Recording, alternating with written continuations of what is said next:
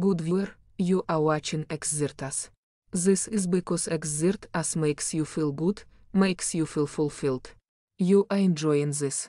You will continue to watch Xirtus for a long time to come. You want to subscribe to Xirtus, and you will. You will like and subscribe and share.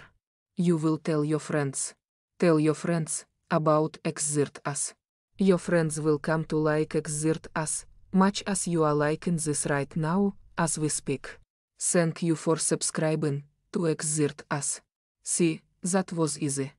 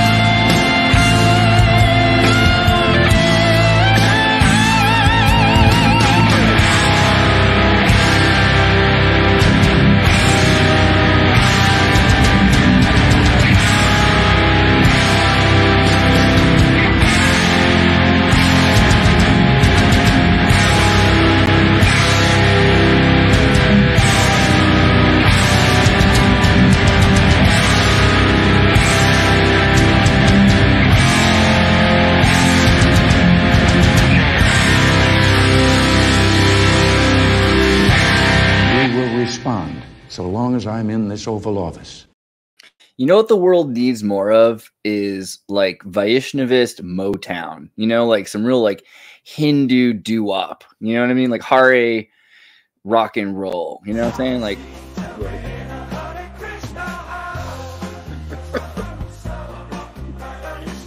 it's crazy. If You you, uh, if you you know, feed Sanskrit, singers are really, you know, basically like Jesus Kirtan.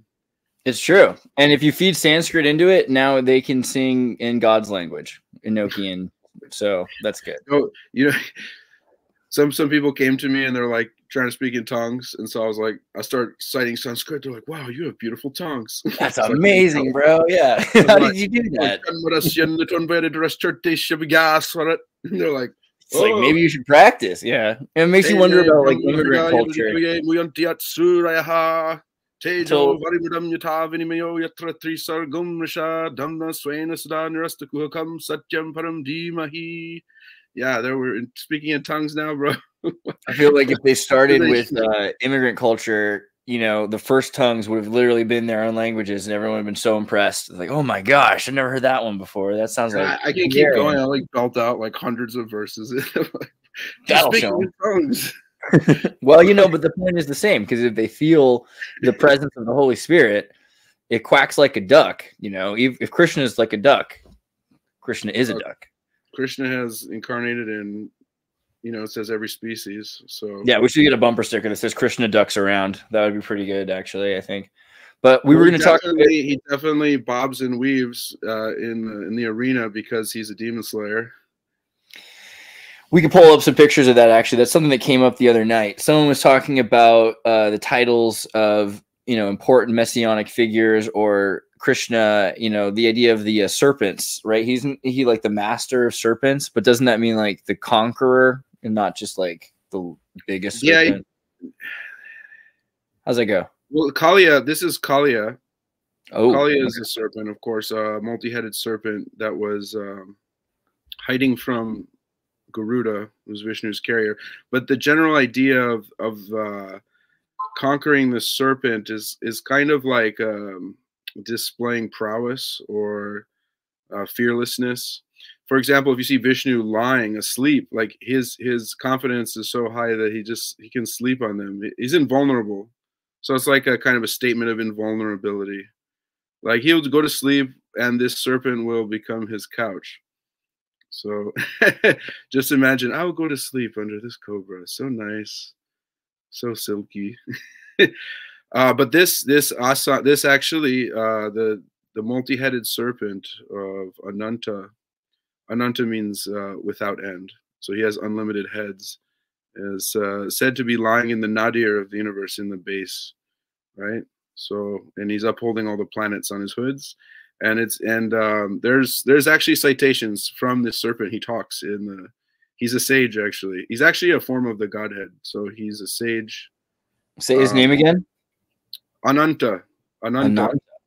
Ananta Deva or Ananta Shesha. Ananta. Yeah, there he is. He's Ananta. It's also a name of Vishnu. He is Vishnu also, but he's he's kind of like um, what's called. I mean, we're getting technical, but Vaibhav Prakash.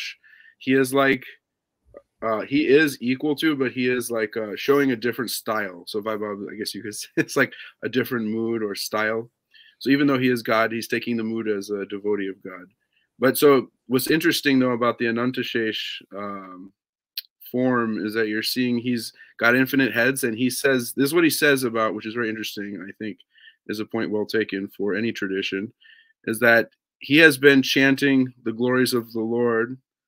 Um, with all of his infinite mouths since time immemorial. And he says, I have yet to even cross one drop of that ocean. Wow. That's so like there's always more to be revealed about uh about the supreme personality of Godhead. So it's not it's not finite, it's infinite. So I mean, this is an interesting concept. We've talked a bit about this idea of you know meta personalities or something, but you just called it moods of God, and I think that's really interesting. So you know, this seems like something broader than just a personhood, right? Because they're able to have personhoods as moods, have have serpents with infinite heads as moods. What does that mean in like the broad uh, scope of you know veda in terms of like reality like what do you how far do you take this in terms of reality? How does this uh how do you use this? Okay so one of the things i need to disclose is my situatedness in a particular tradition that is the gaudiya vaishnava tradition um, known in the west as Hare krishna but uh, that's like that's like if you call the Christians the Hallelujahs. is the female godhead and Krishna is the male godhead, right?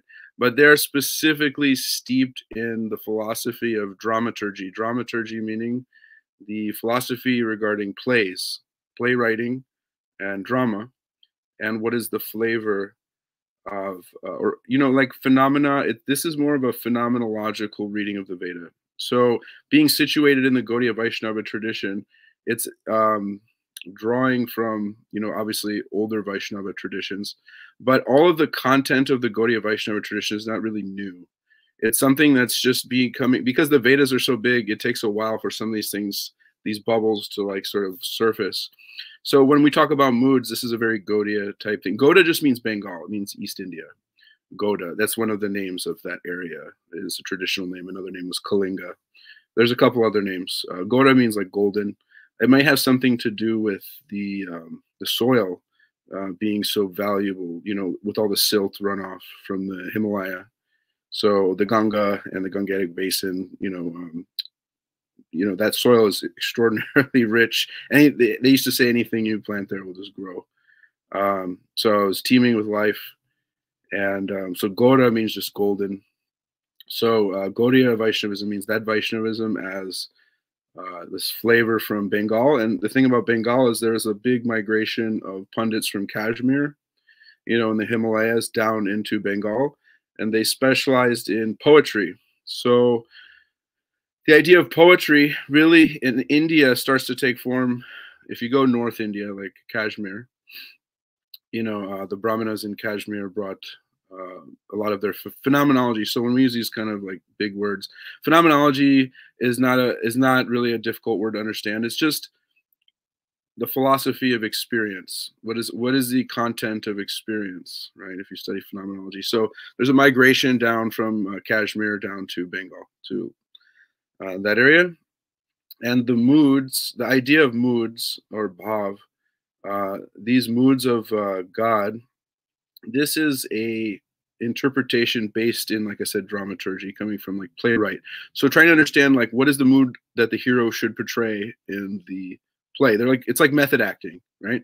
What is the mood that the heroine should portray? Or like which moods are not well suited to um, mix? Like some moods should not be mixed and that's called rasabas like you're mixing it's like a poor taste to like like you wouldn't mi mix disgust like the mood of disgust with like um, the new uh, budding uh, love, like like fresh love, like when uh, a love a love that's just starting, where there's uh, infatuation. Like you wouldn't mix disgust; it would be like an improper.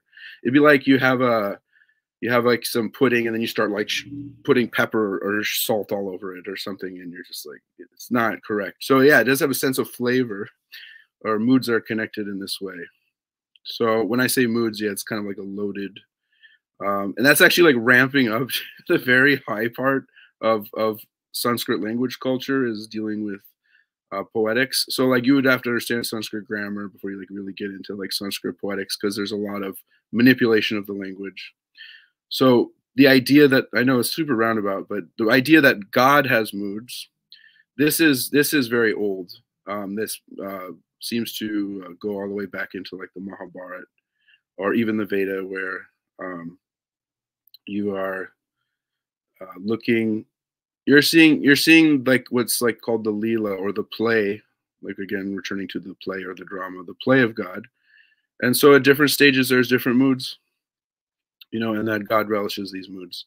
I almost wish I could get away from the word God, but uh, Ishwara. Uh, well, okay, that's another one that's interesting because yeah. I mean, I think it's worth it to look at it both ways, obviously. I mean, I'm talking to people that are super religious on one side that look at everything like, you know, it's this single parent who writes books. And then people who are looking at it like it is only the collective amount of everything combined, like the sum of all things, right? There's like, there seems to be kind of both camps you don't seem to be necessarily in either of those camps, right? You're saying that those are both the sum of all things and the personhood or mood. Is that right? Am I right? Say more. Say more. So what do you so what is when you're thinking about this idea of like Narayana, right? Like we've talked a bit about this idea of like source.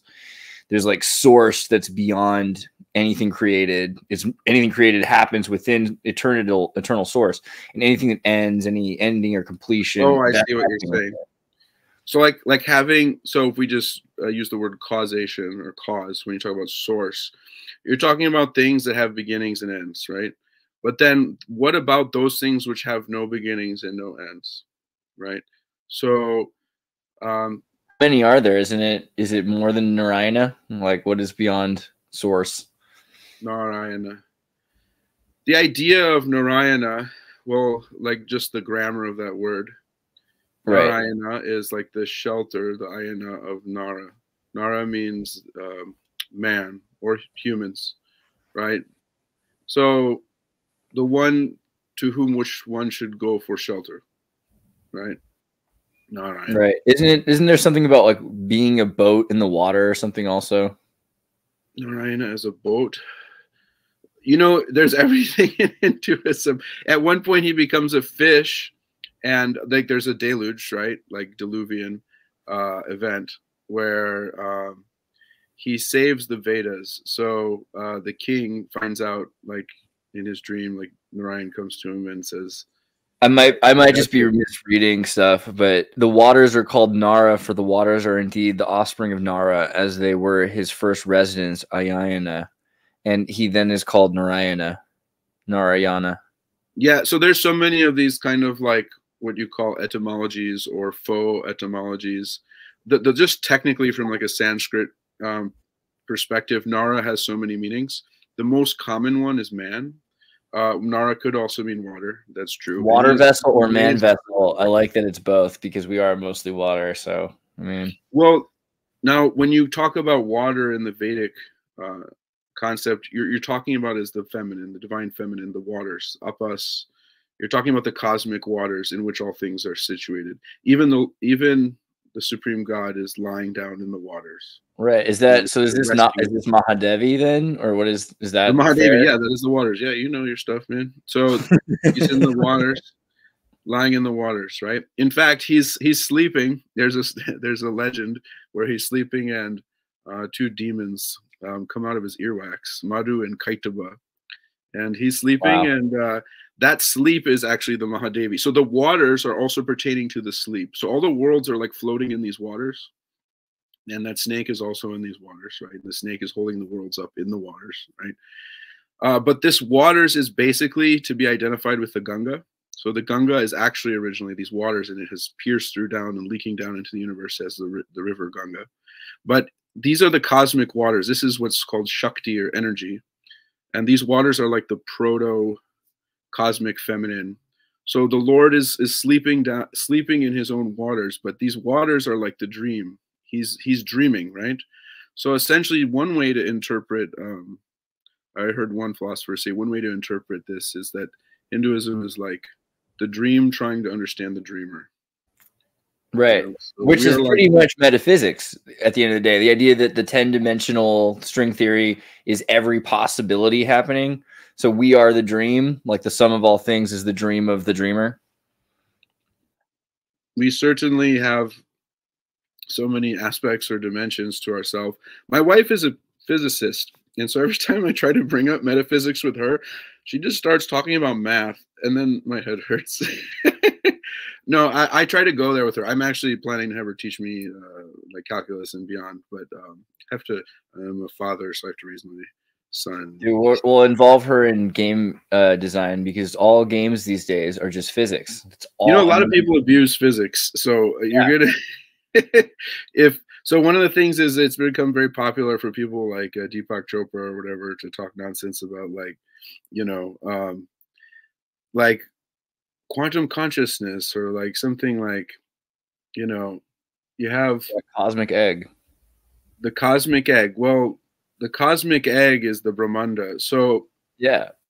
the co- what's called cosmogony like how the i guess to change the subject again uh, the No, I'm sorry. I'm sorry. You keep going with that. We'll go back to that. I don't want to interrupt you. Well, It's just that physics gets abused. Like people try to make quantum physics say things that it's only maybe implying. It's not like really. You could know that the guy who did what the bleep do we know uh, was one of the NXIVM guys, Yeah. part of the NXIVM cult. NXIVM. Yeah. You tell me what's that? NXIVM was like the sex trafficking with like celebrities, mind control cult. you ever heard- oh, was that that tattoo thing that people were tripping out about a couple Yeah, years ago? Oh, brand. man. They weren't. They weren't. was, uh, what do we know? What the bleep do we know is those people? yeah. Well, he was. He was the right hand man of Keith Raniere. Was the you know? So what the bleep do we know? NXIVM Currently people watching. are. yeah. Uh, their will extends beyond their knowledge, so they commit these. But again, like it is what it is. But the point is, quantum physics gets abused. I 100% agree. But it's also interesting. Well, metaph- metaphysics is is uh, physics in general gets abused, but quantum physics is abusing metaphysics and quantum and and regular physics. All right. Point is, a lot of people think that you know religion and science are op- oppositional, and then there are people that are saying, well, realistically, a lot of physics, like the Big Bang theory, is coming from Catholicism because Jesuits were into that. However, they're not really looking at that the fact that the Jesuits, especially were European Jesuits, interested in the Veda, and the Veda has even more connections to um, inspirations for our modern physics, right? And even this idea of multidimensionality or um, singularity, or you know, different levels of consciousness uh, or awareness of dimension. These are things that actually maybe originate with certain kinds of Hinduism or you know different traditions. yeah definitely in the 1800s like in the um european you know like kind of like tail end of the european enlightenment becoming more towards like modernity and then this horrible word post-modernity, indescribable word, um, know, undefinable word. But um, there is uh like what do you call it? This like budding archaeological, anthropological, you know, massive information coming, and definitely the Jesuits, you know, did a lot in terms of acting as a I don't know, like intelligence gathering, you know, like interacting. sure. Yeah, yeah. Yeah, Literally. it's not all bad. They they did good stuff too. Um, Gathering intelligence sounds like a you know. yeah, it did. It did. Uh, so yeah, then you have the, all these cultures start interacting. Um, you know whether it came from the Vedas or not. I can say that there are very strange things in the Vedas, and also calculus seemed may have been discovered like a long time ago, also, or like high levels Right. of trigonometry, like thousands of years before anybody. You remember like Srinivasa Ramanujan, right? This like yeah, like, I haven't looked into him too much, um, but yeah, I'm I'm aware he had some uh, calculations that were Like either he is a British plant or proof that there is calculus in the Veda. You know, in the Pan- I will definitely refer to you on that. Um, I'm like, I study more like Sanskrit. Like I'm more literary. My wife is a physicist. She can answer more physics questions. But let me give you an example. Like why, like physics, I couldn't get my wife to like, eh, how do you say it? Assent to my ideas regarding her her field. Like so when she can't she- have your perspective. Yeah. yeah like she like she she doesn't she doesn't accept my take on physics so but even though i think it's legit and i think if if i give it enough time she would maybe accept uh so she told me something very interesting she, she said um well we were talking about randomness and um she told me in the math perspective and i think this this idea benefits anybody um and i'm interested to hear what you think about this in the math perspective randomness is on a spectrum right between zero and one and if something is, the more closer you get towards randomness, the more um, the probability moves towards zero. So, and then as something becomes more and more probable, it, it moves away from randomness, moves towards order. So I was like, well, then, then the next logical conclusion is that there's no random and that there's only order. And she's like, no. it's something I was like, what do I do with that then? Because you're telling me that randomness, the probability of randomness is zero. Highly improbable. It's zero. I mean, according No, to there's a small there's a there's a small range though, right? There's a there's a very small one. range of like so that is the differences of choice. Maybe that's like that co- that constitutes free will or something. That small freak, you know amount of randomness. well, I would, I would, well, I, you know, looking at the determinant or indeterminate or what do you call? It's funny. There's a word in philosophy called uh, libertarianism, but it's not. It's not libertarianism. It means the belief in free will. Uh, people get confused, like when you start talking about libertarianism. Believe it exists. Well, that's Like, new. libertarians those are the people that we we put in the gutters or you know they're hard, hard I'm going to be interviewing a couple libertarian candidates this year, so you I know, know. we- we kid the libertarians. We love you. We love you. Yeah i'm just joking i know a lot of people are into libertarianism i I think you need a little bit of a safety net though for people Oh. God, yeah, we'll talk about that. Yeah, anyway not have to go political here but the idea that uh the free will exists libertarianism um Yeah. free will Right, exists you believe it exists. You believe you free will believe- exists. or or that it doesn't exist you have a hard determinism or there's something called compatibilism where you have to have a order set on which to choose from But Right, you're you not have to have Calvinist. You have to have You a don't limited structure in to even make a decision. So you have to have order or some limit to free will and actually to order to have will. What's that called? That's what I on nothing. You can't choose and avoid. There's nothing to choose. There's no object. What's that determinate free will called? I want that. The determinate one, this Yeah, compatible. or you believe that there is there is a system has to be there for you to make choices. I that's believe called that. compatibilism.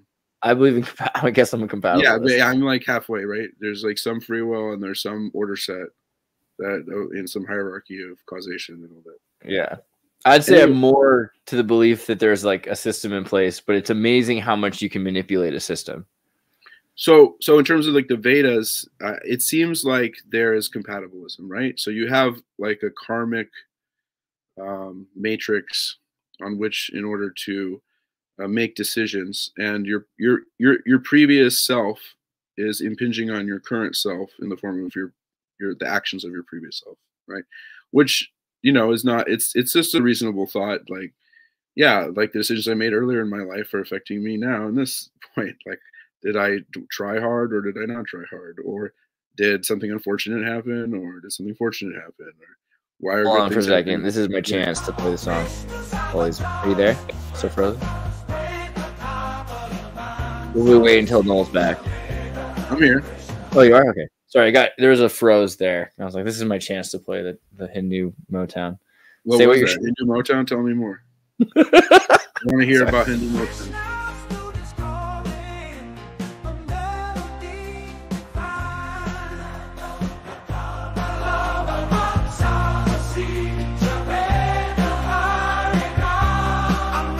Oh, oh, no, I know.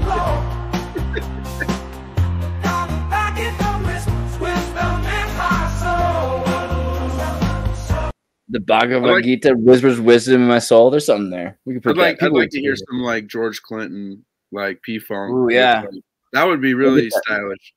I'll get that functional. I think we can that, make that uh, happen. Real mothership connection here with oh, Star yeah, actual mothership. Yeah. Mahadevi, Mahadevi, Mahadevi, Mahadevi. Try to get George Clinton on. Try to get George Clinton on, bro. That's a good point. All right, we'll work it's on it. This can't be hard. You just have to like put crack at the end of a like fishing line and then like reel him towards the. Get, get Sir Nose in here, devoid of fun. I can't swim. but we were we were talking about like the idea of you know chaos and order and like compatibilism. I mean, it seems like the idea is that there is a system in place, and you think it's maybe more that we have free will than that there is a system in place. Like that's a stronger part of the marriage of equation. So, like to go to the very bottom deep layer, like ones and zeros in the Veda, you have Dharma, right? And or Rita. Rita is like the proto Dharma. Rit, Rit or Rig, like Rig Veda, is like natural order, something like that. Like first, what do you call it? First order logic or something. You have like a, a natural underlying like the structure. numbers exist, straight lines, right, curves. Yeah, I see. You know, that's not a bad definition.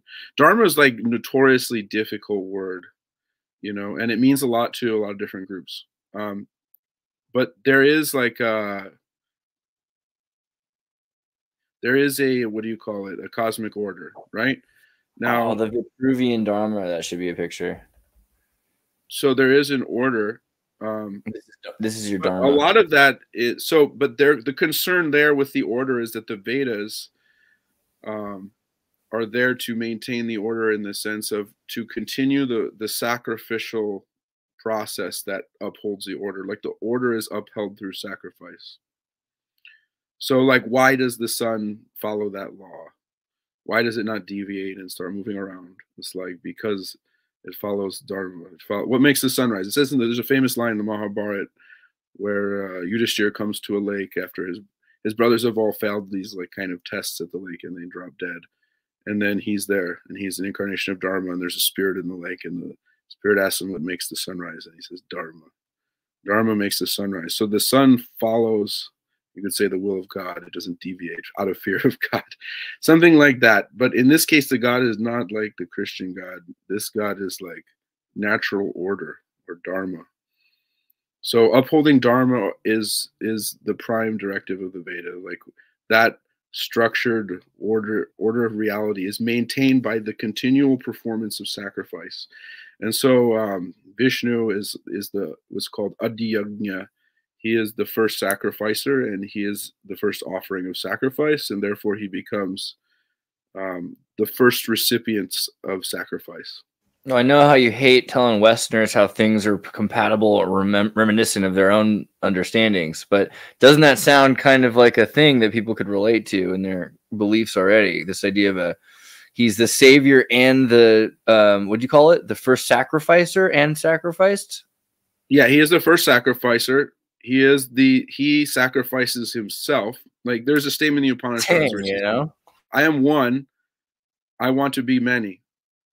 Right, and so in the real hard not to connect dots right now for you. No, no, no. So you can connect dots. So here's my contention though: is like I think syncret syncret synchron what do you call it? Syncretic work is super important. I just I just object to people like prematurely like um concluding the accuracy of their syncretism before Right. doing the work of both of the things you're trying to syncretize. Like Right. We shouldn't have a stop there. misunderstanding here and a misunderstanding here, and then you join those two misunderstandings. What's the result of that? That's exactly. So we shouldn't you'd stop like there. We should continue to, Oh. di- to delve deeper into to tell us more about Vishnu and how he's maybe the same and different. You know, what are the different compare and contrast? That is actually no, no. You made a legitimate comparison there. The only thing is, I was trying to because uh, I actually, you know, everybody uh, nowadays likes the idea of, um, you know, finding the roots of of humanity and what, where we Totally. are. Totally, yeah. You know, like with like the the mud flood and all these. Like it would be nice to have an objective truth about the creation, the cosmogony. Yeah, we'd love that. yeah, different cosmogonies. Like where do they connect? You know, I'm I'm all for that. Only thing is, I was just uh, I just object to like the premature syncretism. That's all. Uh, I, For I think syncretism is actually almost like a goal that everyone should have, but like I just think the standard of what it would take to actually achieve that is like is pretty it's pretty demanding. I mean, it's asking a lot of a person. So like the same thing, like we need some interface between the science and religion, like quantum physics, maybe a starting place. But the kind of person you need to actually do that work, it's like it's like we would all like to do that work or see that work done, but like who who is the right one to do that is the one who is like steeped in both at the same time or like working in tandem very carefully. There's a lot of I hope I don't upset any Indian engineers here. There's a lot of Indian engineers who like love their culture and they're like, "Oh, I just want to like go back and find out more about who I am." And then they like try to apply their like scientific mind, but they like don't do the work of actually like studying Shastra and Sanskrit. And then so they're like they have good intentions, they just never um they never get an adequate effort rolling to actually achieve that syncretism. So that's like I guess that's the critique I'm I'm kind of putting forward is how like quantum physics gets abused by Hindus or just by New Agers and more more by New Agers. Uh, Yeah, of course. I mean, you made the great point that- you made the great point that people will uh, synchronize and then they'll stop looking, and it's kind of like the zeitgeist thing. You're like, oh look, these parts have a little in common, and they just don't look into the rest. Okay, well now let's look into that character more. Let's look into that story more and try to understand it. Unfortunately, v- Vishnu is a lot more difficult. It's a lot more complicated. It's a much more complex thing than just a person or a place or a thing. So well, a person is a lot more complex. Also, like the idea of a personal God is actually the most complex that that we can have as persons. Um, there, so in India, there's the personal and the impersonal, right? The form and the formless, right? So you can even be an atheist and live in the formless, impersonal part of Hinduism, and you're you're you know you're part of society. You know, people may disagree with you know, you know the the flavor or like you know that like it's a matter of taste right like you know my mom used to say it's what is it there's no uh, religion is a matter of taste or love is a matter of taste right you know what somebody finds attractive somebody else may not find attractive so in hinduism it's interesting it's like a variety of things hinduism really should just be called dharma which is actually kind of difficult because um buddhists also claim dharma and so do, you could say the Jains. You could make an argument that Jains are a Dharma tradition. I, you know, uh, Dharma is not. It's not exclusive to a single tradition. Uh, the idea dar just means to hold or to uphold, right? So there, there's your structure, I guess. There's something or someone is upholding. I would argue from the Vaishnava perspective or the Vedic perspective of because uh, the Buddhists and the Jains don't do not subscribe to the Veda, although their culture is steeped in the Veda. Um, that uh, that sacrifice is that thing that's upholding our existence. Like at the bottom of everything, like why do things exist? Because there's been a perpetual sacrifice that's ongoing that produces the support for that existence. So, all right. Do you want to talk about Dharma first, or should we talk a bit more about Vishnu? Where do you want to start? Oh, yeah, yeah. Vishnu. So the so the thing is, where is Vishnu and all this? He is the original sacrificer, Adi Yagya. Um, and uh, so he is the first recipient of sacrifice. So so like there's so when it comes to Vishnu or Vaishnavism or Shiva and Shaivism or Shakti and Shaktaism or Shakta Tantra or Shakta Bhakti, you know these are like your general categories of like um, what's called Ishtadeva. Ishtadeva. So it's not like I would like to use the word religion to make it simpler, but like the personality to which the practitioner identifies with. So, like if somebody's a Vaishnava, they're connecting to Vishnu, right? That's their chosen deity. Ishta means chosen, desired, or uh, worshipped. The, but the word ish, that root ish, has a very much a desire sense to it. Um, like wish, possibly, is connected in there. Um, Ishta Deva. So Deva again people say gods but dev div comes from div Dhatu. the root div means to play or to shine so the gods of india are shining playful ones and is he literally holding the earth right now and it's like that's the earth is that the earth no this is hanuman hanuman is there holding the hill with the herbs to uh, retrieve it is a it is a piece of earth uh, it's like a it's mountain not whole earth okay no no, no. that might be the north pole or something the earth is upheld um, you could pick a, a, picture of Varaha if you want to see Vishnu upholding the earth. Varaha, he's like he's a boar, he's a tusker. Varaha, he's a he's got tusks. He's got a he's a he's a pig, which is really funny because like I don't know if you've been to you know you've been to Italy right? You know how like there's like like dirty words in Italy like or slangs like in Italy like the slangs are against God. They're like mm-hmm. you know, like God is yeah. a pig. And I'm thinking, yes, he's a very nice pig, you know, but they're thinking, oh, he's a pig. I'm like, yes, yes, he's a beautiful, wondrous pig, you know. yeah, I wonder about that. Maybe you know, the Hindus. The joke's on Hindu. them. They're actually glorifying the Lord. no, yeah. Wow. So, uh, but the connection there in Varaha is that um, Earth is connected in Sankhya to the sense of smell. That's why, um, and the pig has a you know a strong sense of smell. So he's the what? He's the husband. The Vishnu takes this form of a pig to marry the earth. So but you were talking it's the Devati, and it just showed the Hanuman as an Ishta Devati. Uh, oh, Ishta Devata. Uh, Devata, Deva or Devata is the same thing. Um, Ta is just like adding like a little bit of an honorific there. Um, Ishta means worship. So you get to choose the face of God you want to worship. So like in the in back in the Vedas, like the Purusha Purusha Suktam, it says Sahasrashirsha Purushaha. So the Purusha has a thousand faces, right? Sahasraksha, he has a thousand eyes. Sahasrapada, he has a thousand feet, right?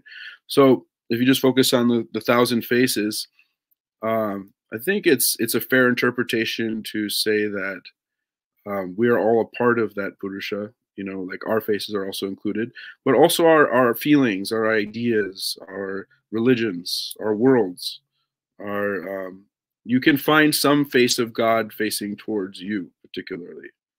You know so the ishtadeva is that form of the lord which resonates with you that you you find shelter in. So you get to you you know like if if you want to worship uh the lord as a, in the female form as devi as the or ishwari supreme the supreme goddess or supreme mother um, a lot of famous gurus had actually like yogananda people don't know this but yogananda was actually a kali worshiper and he had great difficulty actually um, because he couldn't express this in the west because they kept demanding some kind of christian connection uh, it's a very famous a lot of people have read this was a lot of people's first introduction to uh, indian philosophy or yoga or that's mysticism. funny because if you talk to the jesuits right mother mary worship there's already a lot there. Right, but but bring up a picture of Kali and see can bring a picture of Kali though. Is this this is something that like the West would easily unpackage back in like the middle 1900s? Like they look at this and they're like, oh, it's a demon. You know, like it's like actually. Well, it's hold on now. Let me show you a picture of Mother Mary from my church as a kid. Yeah, you have a cool Mary here. Yeah, not Mary's always cool, but yeah, she's always stepping on a snake, you know, killing a bunch of demons. Let me see if we can find an example. There's actually Mary with a sword. Is there married with a severed head? I mean, stepping on the serpent. Hold on. There definitely is in Spain. I'm sure I could find uh, Mary with uh, Mar- Mother Mary with head of Moor. I'm sure I could find one. Moor, huh? yeah, in Spain they have all these pictures of, you know, like if I could find like a Spanish. Moors, as in like the Turks. yeah, they like or What's that? Africans. There's always there's always statues of like Jesus killing or like other dudes killing um you know Africans. This is Oh, Spain, bro. bro. You think this is America? This is Spain. But actually, go back that for a second. Look at that little boy with him. What is that thing? this is Spain, bro. This is what it's like there. They got He's got people that weird like they wizard kidnap like- kids, burn down buildings. They still have rituals where people take their furniture and throw it into the street and light it on fire. This is Spain. But yeah, I've been there when I was a kid. The only thing I can remember though is paella. here's Mary with a staff murdering demons, There you go. Now this and is she's got heads and everything else But your like that. average, your average. This is Spain. Your average This is- non-Jesuit doesn't know the truth. Okay, fine, you got me. All right, This, fine. is these are these guys are giga chads. all right. But the Giga Chads know that Mother Mary is Kali. She's- she's Okay, gonna we're good. Okay, So so yeah, you can understand like people have a little bit difficulty unpackaging certain iconographies, right? Like if you tell oh, them for the like, plebeians. Okay, sure, yeah. Severed arms are karma, the severed heads are material knowledge, the sword is is spiritual knowledge, and the big severed head is uh ego or like an agentive ego. All right. American Christians never seen Mary do any cool things before. No, no, Uh, no, Yogananda literally he might have left his body because he was so upset that he couldn't uh, preach about Kali. That's a bummer. Because you got to think like there's definitely people that would have been open. It's a bummer. I Yeah. bet you there was, you know, and it's you know what's really interesting. Almost none of the people in the Self Realization Fellowship actually know that he's a Kali Bhakta. Wow. But there's there's letters, there's letters where he's writing, I cannot describe you to the Christians. so can you explain a bit like so why is Kali different than the Mahadevi? Like when people talk about no, they're non different. Kali. Kali is simply a warrior manifestation. She's getting her hands dirty in like the heat of battle. When like the Right. battle gets like more inflamed, then she becomes more inflamed. But she doesn't more and more start off Catholic. that. She starts off at Durga. If you can show a picture of Durga, Durga is also a martial uh, goddess. So how you- am I spelling that? D U R G A Durga. It's just googling me up to Vajra. Durga is the Mahadevi. The Mahadevi actually is like the united. Why did female. it become Vajra? Durga. Durga? D D U R G A Durga. There you go. She's riding on a tiger, right? She's Okay. got weapons in many hands, right? She's Yeah, she's yeah, a demon slayer. Yeah, so she's Buffy the Vampire Slayer. She's great. She looks awesome. Yeah, yeah. And then she gets even more uh how do you say berserk and she becomes Kali. Kali's like berserker form of Durga. Gotcha. So she Okay. she has to go and then she starts like destroying the demons by the thousands and millions, you know. Uh, and Shiva has to stop her in order to preserve some balance. So that's when he lays down in her path. She puts her foot on him. Oh, because it was gonna be too too much. She's gonna kill all the demons, and you Yeah, she's kill. gonna kill them all. You know. Uh, so so Hold the real quick. idea is um, No, this one. Like this is where you can buy the demon heads that have been master cast at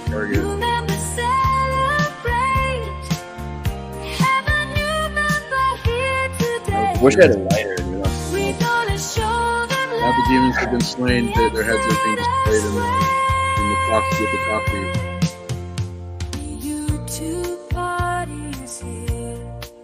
Okay, cool. We're good. Sorry. Anyway, You're good, bro. It's your show, man. I'm just here to I'm supporting I'm best You're- supporting actor here. it's your dharma. I'm just here as karmic consequence. We consequence. can jump all over the place. It's all good. V- The Vaishnavism thing, though, this angle is kind of like um, Vishnu is the maintainer, right? So you have creation, you have destruction, but you have the one that's always maintaining. Also, the times are associated with the three deities. Uh, the past is associated with Shiva because it's been destroyed, right? Bhuta, Bhuta Kal means uh, Bhuta is another name of Shiva. Uh, it is uh, what it, the past has been destroyed, right? It no longer exists, right? Brahma is the future, right? He's creating the future, but Vishnu is the, the present. He's the now, right? Uh, another thing, Vishnu, Sattva. Sattva means goodness.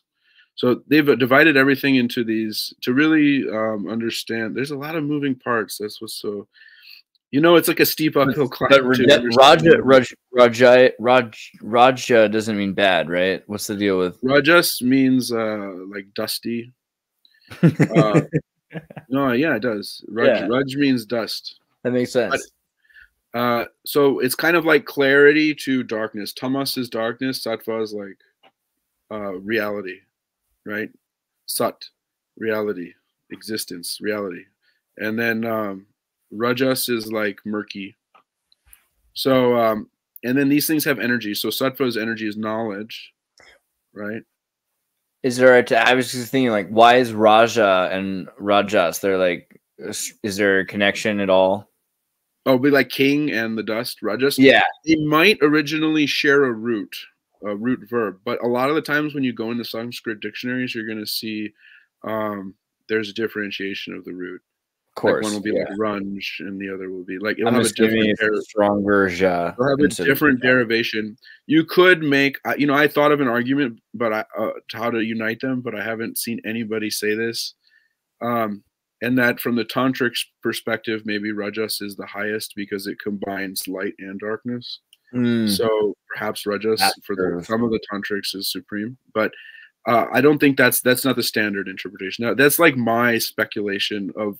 It's not even I even believe in that, but that that's the correct interpretation. I was just trying to. All right, that's I was just trying to figure out like why does Yeah. this root word look the same with this Yeah. other root word? It's I mean, it's very- big, you would think it's a big deal because the idea that kings and majestic lifestyle like would be connected in any way.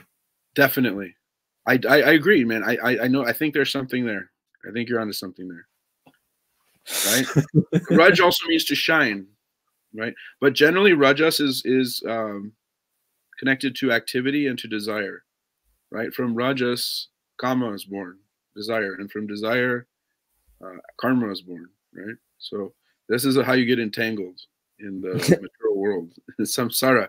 Now tamas, tamas is more like stolid, like lazy, stuporous, like ignorant, like dark, darkness, like you're like uh, exhaustion, like uh, inertia, like inability to get started, like tamas. So um, there's this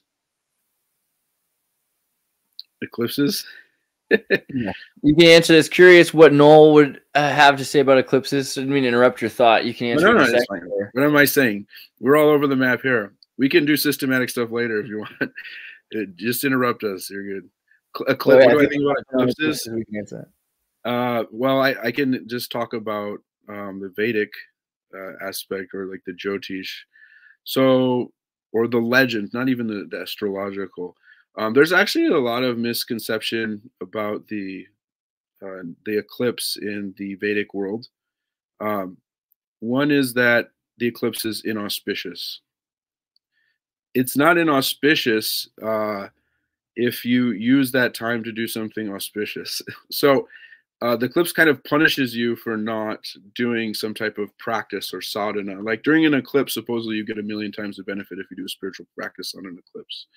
If you don't, it damages you. so there's a lot of astrology in uh, in Indian stuff, like all like especially in tantra. Tantra is all about astrology. Like if you want to meet a god face to face, sometimes astrology is involved to like meet that time to like find like go to a place and like do a certain practice and then meet them face to face.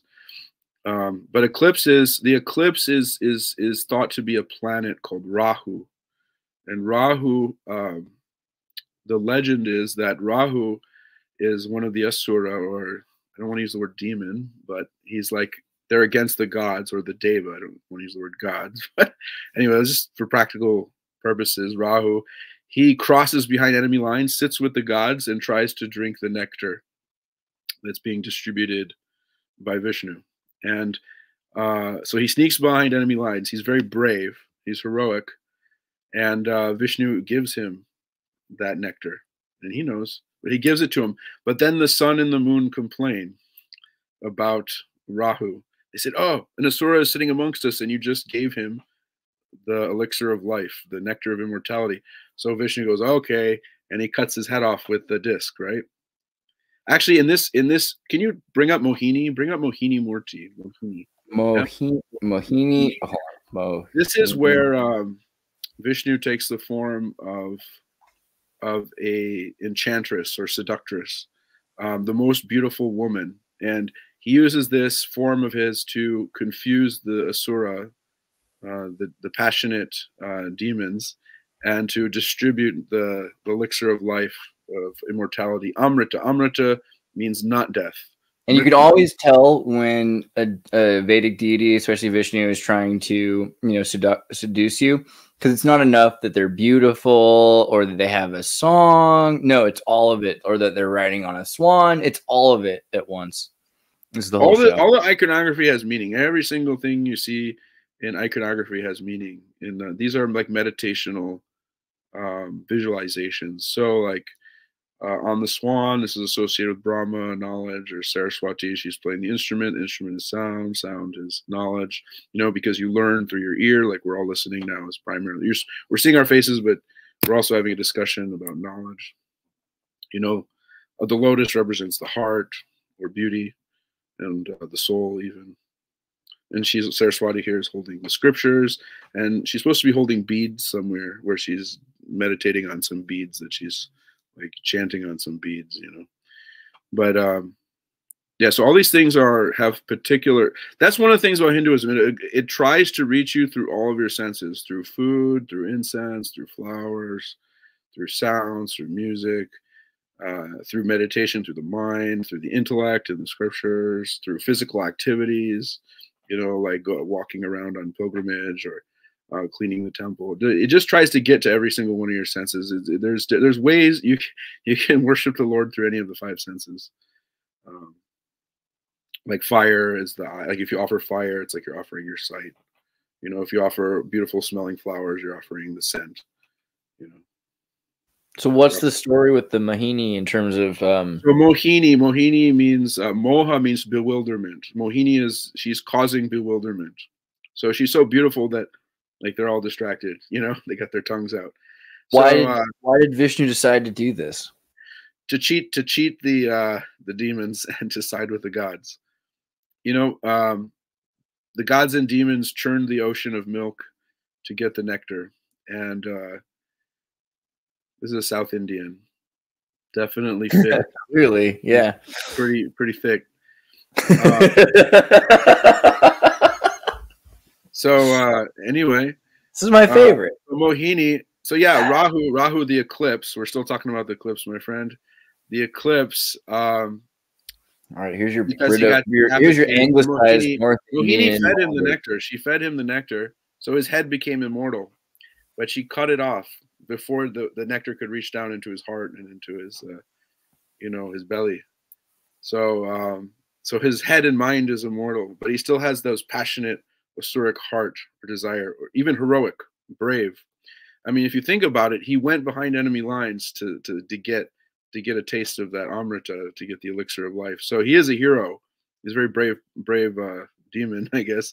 And he even sat amongst the gods. He sat amongst the righteous. So he kind of traitored against the uh, against the the negative forces to get that. Uh, you know, he switched sides. But there, he has a, an inimical fight with the moon and the sun because the moon and the sun pointed him out. So Chandra and Surya said, "Hey, this is not one of our guys," you know. And then so Vishnu said, "Okay, okay," and he cut his head off, you know, uh, as Mohini, right? But his head became immortal, and his head attacks. His head attacks uh, the moon or the sun, and that's what the eclipse is. So it's considered to be inauspicious because the sun is the symbol of self, and the moon is a symbol of mind. So when there's an eclipse, there's some negative force coming over the self or the spirit. There's some negative force coming over the uh, mind. However, Vaishnavas, what they do is they just chant the names of Vishnu. And uh, I know it sounds like cheat code, but the, the Vaishnava belief is they're not really participating in karma, that they're just under the shelter of Vishnu. And uh, whatever karma is there, they're not interested. Um, whether they go to liberation or they remain bound in the material world. They're just trying to increase their devotion to Vishnu. So by chanting, there's a belief that by chanting, I mean, this is where it says everywhere, actually, in the Shastra, that taking the name of the Lord once, even once, in any condition of mind, that one is freed from all their karma. Of course, the second you stop chanting the name of the Lord, then your karma just starts ramping up like super fast right away. So that's why Vaishnavas are always chanting um, actually, so that's kind of an external reason. Bhutakal, Bhutakali. Uh, Kali, I guess you could try to sexualize her. It's more violent. It's a violent energy. Someone here is putting Buddha. I'm just, I'm just like spitballing here. Uh, Andreas, you got anything, buddy? I just saw this comment. What do you think of this? Sri Vishnu as Mohini allows Rahu. Correct. Rahu is illusion. Yes. Primary cause of rebirth and continuation of life. I don't know about that. Uh, the primary cause of continuing samsara is, you know, many factors. There's not a single cause. Uh, generally, huh? What do you think are the factors? Oh, there's so many factors. There's uh, Kalapatra Desha, there's time, place, circumstance, there's the ingredients, the karna, the senses, there is daivam, there's providence, right? There's uh, one's effort, uh, yatna, right? There's so many factors involved in overcoming karma. You know, it's your body, your mind, your senses, your your spirit, all of those things, your agency, all those things are um, to be accounted for. So it's not like um, so that actually that's one of the secrets of bhakti or Vaishnavism is that when you realize there's so many things to account for, then you, this is actually not so far off of the. This is where you could actually make connections uh, with Christianity and things like that. Is that um, you're getting help from uh, God, right? So if if you have so much complex situation where you're getting reborn, you know, with uh, all these desires, uh, one thing you can do is is appeal to the Lord as a thief to steal away your desires. That's why he's called Hari. Hari means thief, actually. So we call God as thief, and that's actually our hope that He will actually steal away our materiality because we're not very eager to get it, give it up, even if we know it's not good for us. You know, remaining in samsara is not good for us. But if the Lord is a thief, then he can come and steal it, steal all our material desires away, or fulfill our desire in such a way that we never ask for it again or or um, just override everything. So that it's there is like a dependency, or what's called sheshatwa, is essentially a dependency on the Lord um, for all things. So this is like a different uh, system. It's not actually a new system. It's very old. Goes back to the tantra. Really, this is like tantra is like secret practices. Like how can you like hack karma? Like one of them is to bring the Lord onto your side, bring the Lord under control. That's called Vashikaran in, in black magic. So there, you know, uh, Tantra has some sorcery that they can do. One of them is to control another person. That's called Vashikaran. So like you can kill a person with mantras. That's called Marana. Uh, you can stupef- stupefy a person. That's called Stamba. Right? There's all kinds of things you could do to injure another person. One of them is to bring them under your control. That's called Vashikaran. So if you're going to use Vashikaran on God, like how do you bring God under control? You can't, except through uh, love, right? He doesn't really need it, but uh, it's kind of hard to dislike somebody who likes you. You know what I mean?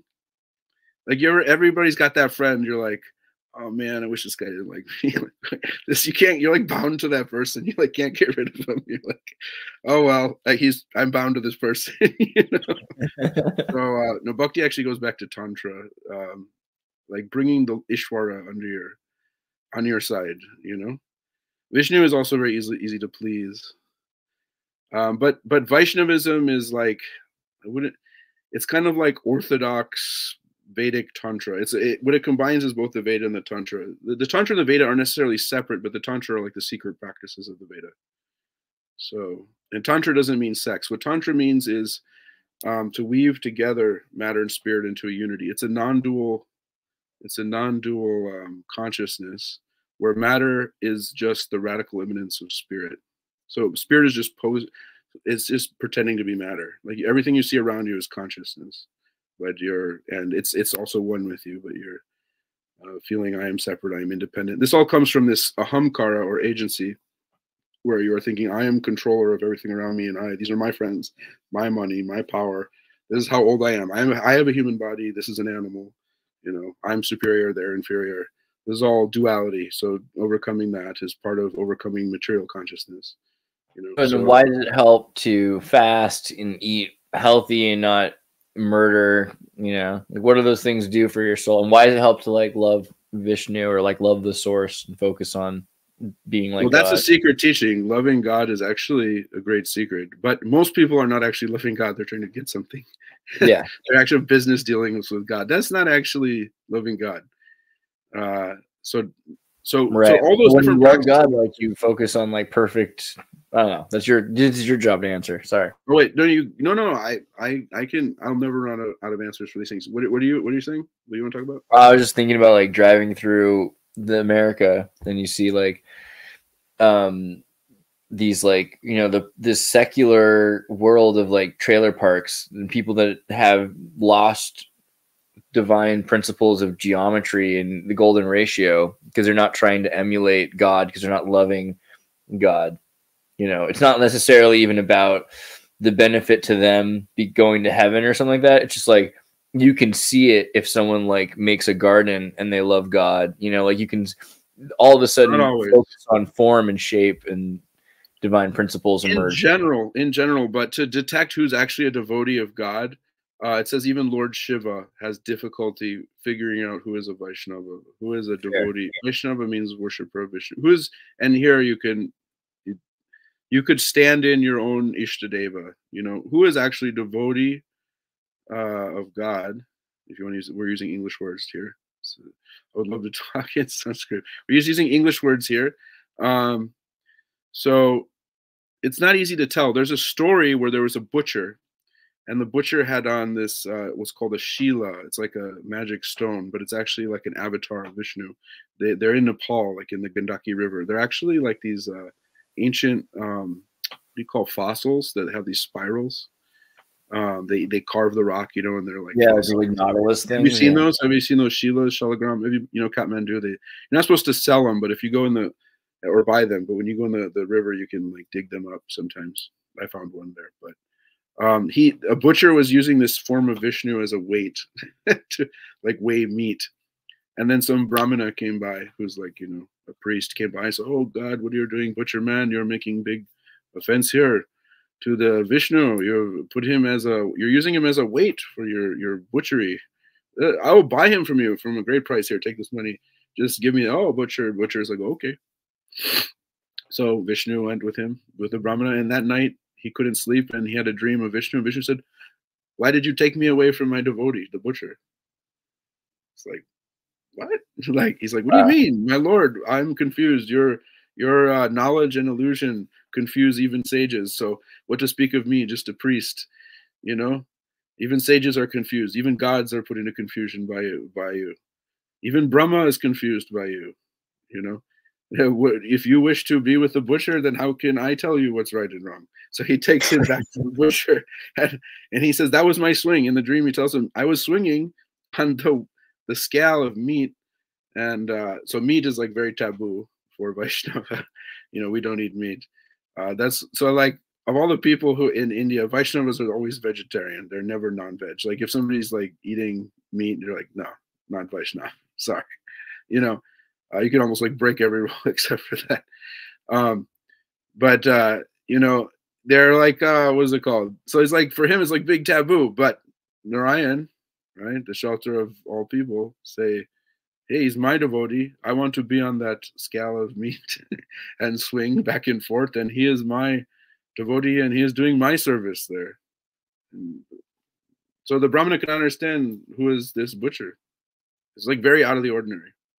So we can't always tell, you know, you see someone in a trailer park, we don't know what devotion is in their heart. We don't know what kind of devotion they have to God. It's not easy.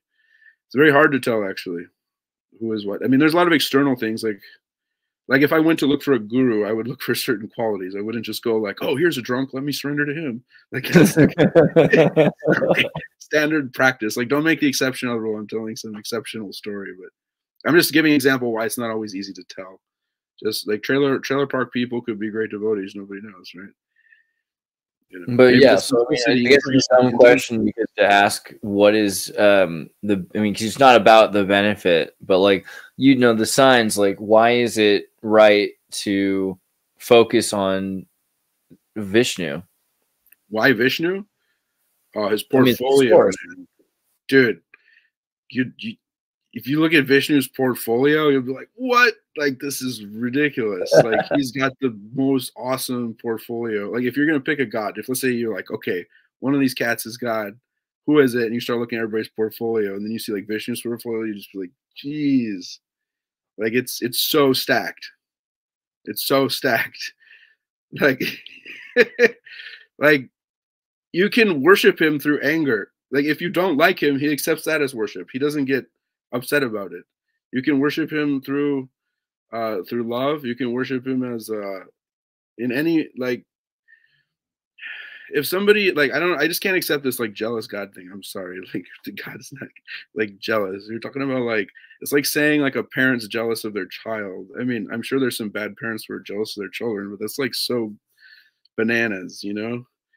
So uh Krishna says in Bhagavad Gita, if anyone worships another God, uh, I make their faith strong in that God. That's what he says. Is I make their faith strong in that God, even though in reality it is only an aspect of me. They're worshiping me, and all men follow my path in all respects. Think about it. What's more merciful than that? So people talk about mercy, like, oh, going, you, you know, that's the problem, man. If Christians can fix that theodicy thing, like, how are you going to get the theodicy off the ground? Like, the, sorry, guys, theodicy means problem of evil how do you fix this if you're going to hell forever for like limited infraction?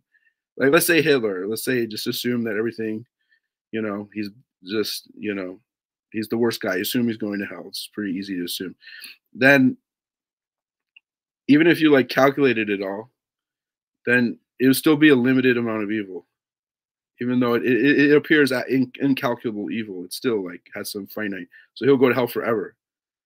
So it's if you try to understand forever or infinite, it's like this is not uh it's not something that we can really comprehend. So it just seems like why would there be like infinite punishment for limited infraction?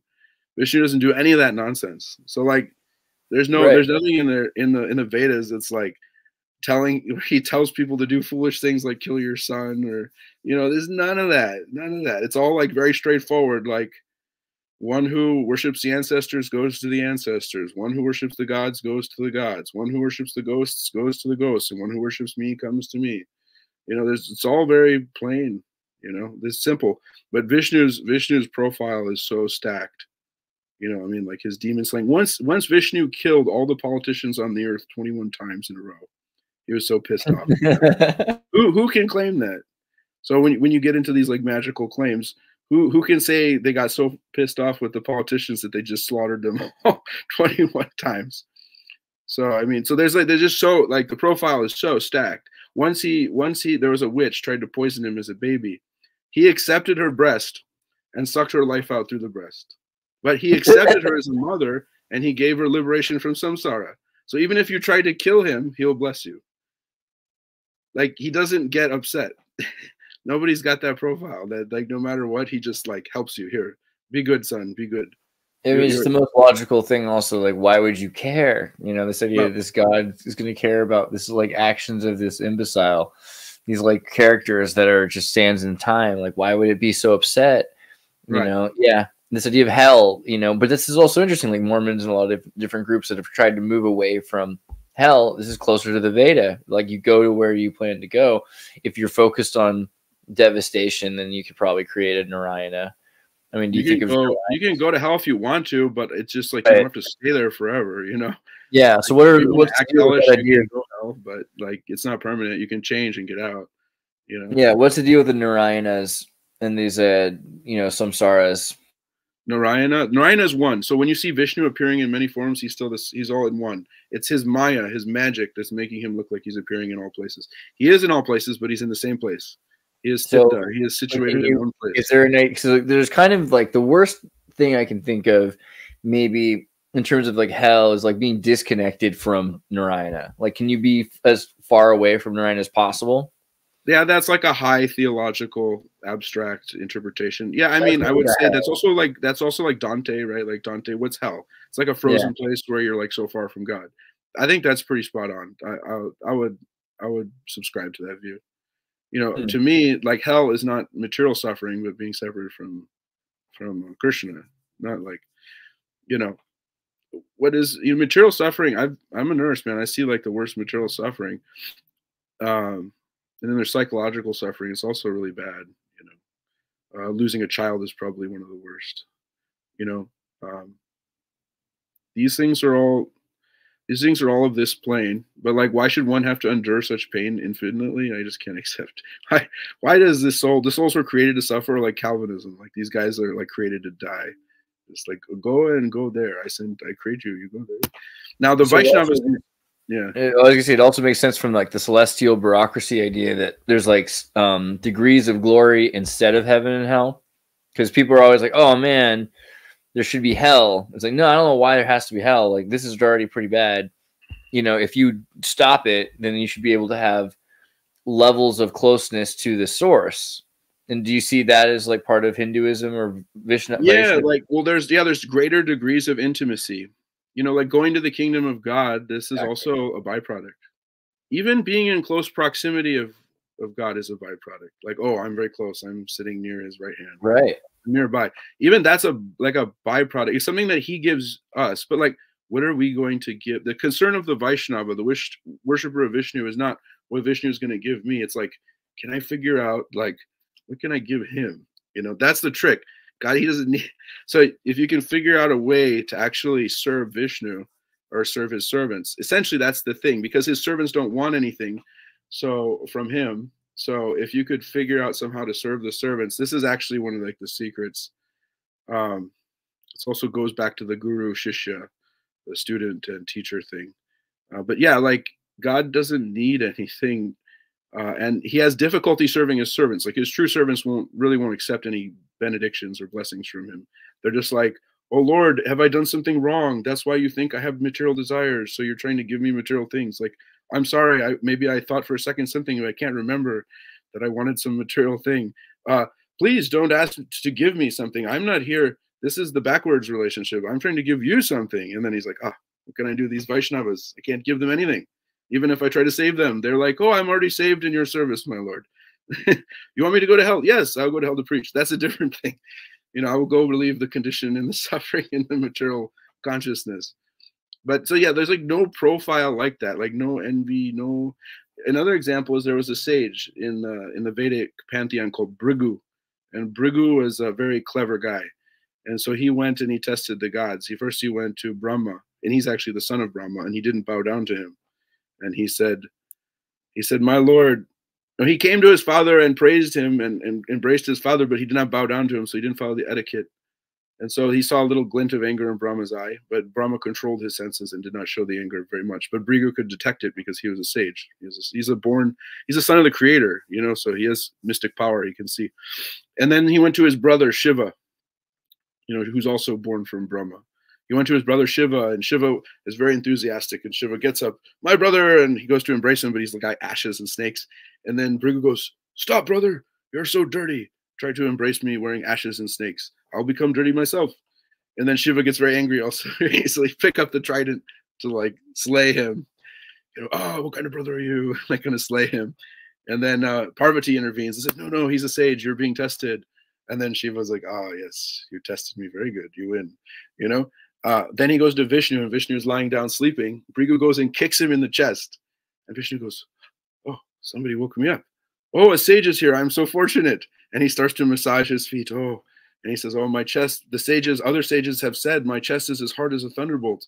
But sages have very soft feet, and they're always in meditation. They are not used to hard work. So your soft feet kicked my hard chest, and you must have injured your toe. So let me clean your feet because you're a guest. So, like, then who is this Vishnu? Is so sweet, talking so sweetly to me. Even I did offense to him, and he's taking it as if he has offended me. Where's a God like that? That you that if you offend him, he will take it that he has offended you. Also, you can't hurt him. It's not like your offense did anything to him. It just bounced off. Like there was one right. who tried to curse Vishnu at the end of the Mahabharat war, and he said, he said, "Oh, all these soldiers have died, and all their widows are remaining and crying." And he's like seeing like just like millions of widows, like, "Oh, all the soldiers have died in this great battle." He says, "Vishnu, Krishna, this is your fault." Because you're God and you could have prevented this. And he said, My dear Brahmana, I will certainly fulfill, fulfill your desires, whatever it is. He says, I wish that your your family will die like like the families of all these widows. He says, Oh, my family will die. it's like, what? And then and then he goes, But I warn you, are you sure you want this? Because everything that you want, I automatically want. So it like it doesn't, it just like whatever you want to happen will happen. And then so he he allowed his whole family to get destroyed in in a big drunken brawl at a camp called Prabhas. So he allowed this curse to take place. He allowed himself to be cursed. He accepted this curse as a type of worship.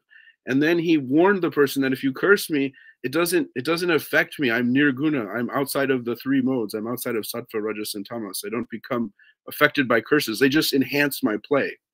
They just increase the spice in my drama. You're just increasing the spice in my drama by by throwing some chili powder in here. And so he accepts, he accepts a curse. So he accepts a curse as worship. So he even allowed his devotee to curse him. Then the devotee, oh, what have I done? They cursed the God. You know? Who who who is so merciful that he'll fulfill your another devotee wanted to kill him and he allowed it. so what kind of eh, this is nothing. It just keeps going. Like if you start reading about Krishna, it's just like so stacked. It's so stacked. Like there like the, the feats of one time he was a dwarf, right? to save the gods, he became a midget, like a dwarf. You know, where is this that God becomes a midget or a dwarf? Like even dwarves are not excluded. You're a dwarf. I'm also a dwarf. You know, He Little people are greatly underrepresented in in Right. religious little literature. are greatly. Yeah, I met a I met a dwarf devotee once. I was like, oh yeah, nice dwarves. Dwarves are so I, cool. I, I, I'm glad you admit that. That's how I would feel too. I'm always stoked by phenomenological diversity. Like, yeah, Oh no, he, he he said he said he said he got brought to this because there was a god who's a dwarf. yeah. There you go. He's like, I found I found my representation in God. He became a midget. he begged from the demon king three paces of land, and just seeing this this dwarf, this dwarf brahmana, he said to him, "He's the king of the underworld," and he said, "Oh, you know, you're no offense, you're very small, and you're very great also, but." If I only give you three paces of land, people will laugh at me. I'm the I'm the emperor, and if I only can give you, you can ask me for a whole kingdom. I'll give you. What what won't I give you? Ask me for anything. He says, I only insist on three paces of land. And Wow. He says, okay. And then his guru, his name's Bali Maharaj. Bali Maharaj tried to, he knew he knew it was Vishnu, and his guru warned him, no, no, no, don't give him what he wants. This is Vishnu. He looks like a dwarf, but he's Vishnu. He's come to take your kingdom and give it back to the gods that you stole from them. The demon king was very powerful, but he was also a devotee, and he had stolen the kingdom from the gods. So that's the thing. Like in the in the Hindu thing, it's like the bad guys aren't completely bad. They're like still on the team. You know, so it's like this play is going back and forth. I mean, what's more cool than that? And then, so anyways, Guru, like the Guru of the demons, goes, Shukra. He says, "No, no, no! Don't give him anything. I forbid you. You're my disciple. I forbid you." And then he said, "No, my Guru. Uh, even you're giving this wrong instruction. Even though I respect you, I would rather." uh, not do what you say and and fear the curse of the guru, which is very powerful, very powerful type of curse, than to disrespect Vishnu here. And then he said, he said, okay, you'll lose your kingdom. That was the curse, but it was already going to happen anyway because Yeah. Vishnu shut up. Then what happens is Bali Maharaj goes to pour out the water to to make to make his promise true as the king. He poured out the water. He washed his hands and he he like ordered sacred prayers and bestowed three paces of land on Vishnu as Vamana, as the dwarf. And his guru tried to hide in the water pot to block the hole, and he poked his finger in there, and he actually poked his guru's eye. Uh, so it was like a big offense. But anyway, uh, so uh, what happened then is um, in the first step, Vamana stepped across the entire universe, right? And in his second step, he pierced through beyond the universe into the spiritual world and crossed the entire spiritual world his second step and then he said to bali where will i place my third step since i have taken all of your land and all that land which you do not have right and then bali was very clever the maharaji said my lord please place your third step on my head Vishnu put bless him, boom. And so all of that Vedic knowledge went into the mind of Bali when Vishnu placed his foot on his head. He temporarily lost his kingdom. He was arrested. And then after that, then he gave it back to him. so Yeah. he arrested. He took away the portion that belonged to the gods, gave it to the gods, and then he took Bali Balimar's kingdom and gave it back to him. So he didn't even punish him. Basis. You see? So even as a midget, he does great acts. So it's just like he became a turtle, he got a back massage in the ocean of milk. I mean, come on, who's got such a stacked profile? I swear. Look, tell me, whose profile is so heavily stacked? Well, it's pretty. It's an interesting idea that it, it's all really about Vishnu, right? Like Narayana is source, it is Vishnu, and everything is one. Anyway, It's not all about Vishnu. That Vishnu is actually kind of a secret in a way. Um, people think so because there's so much variety and there's so much um, permission. There's so much permission in the Dharma to find your way as you see fit. Um, the the highest secret is Vishnu, uh, but you know, and, and I think the most objection you're going to get is from followers of like Shiva or or Shakti, but uh, there isn't really um, an objection because they're actually one.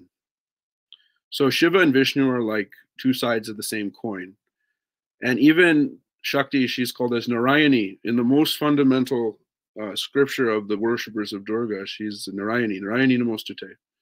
So Narayani is another form of Vishnu. They're like, that's the thing which people can understand that God has a God. like so, the the relationship between Vishnu and Shiva is they like to bow down to each other. So like Vishnu is like the god of Shiva and Shiva is like the god of Vishnu. So if you're a god, you can even have a god. Who is qualified to be the god of God? He decides. So Krishna's Ishtadevata is actually is actually Shiva. so you don't look at it like Vishnu created Shiva or Shiva created Vishnu. You don't think of it like that. They are both eternal. So so they're the created aspect. That's Brahma. Brahma comes out the navel of Vishnu. You could say Shiva comes out the third eye of Brahma, but actually there's a Shiva who exists before Brahma. So you would you would put Shiva above Brahma, but still it's Shiva and Vishnu are kind of competitively eternals because Yeah, there there was all called one. Anyanyashraya. They are they're each all three one, aren't they? Or four? Mahadevi, one. Brahma, Shiva, and uh, Vishnu. They are one. Although I can make very strong arguments why Vishnu is, you know, the one that people that even Shiva would direct people to. Yeah.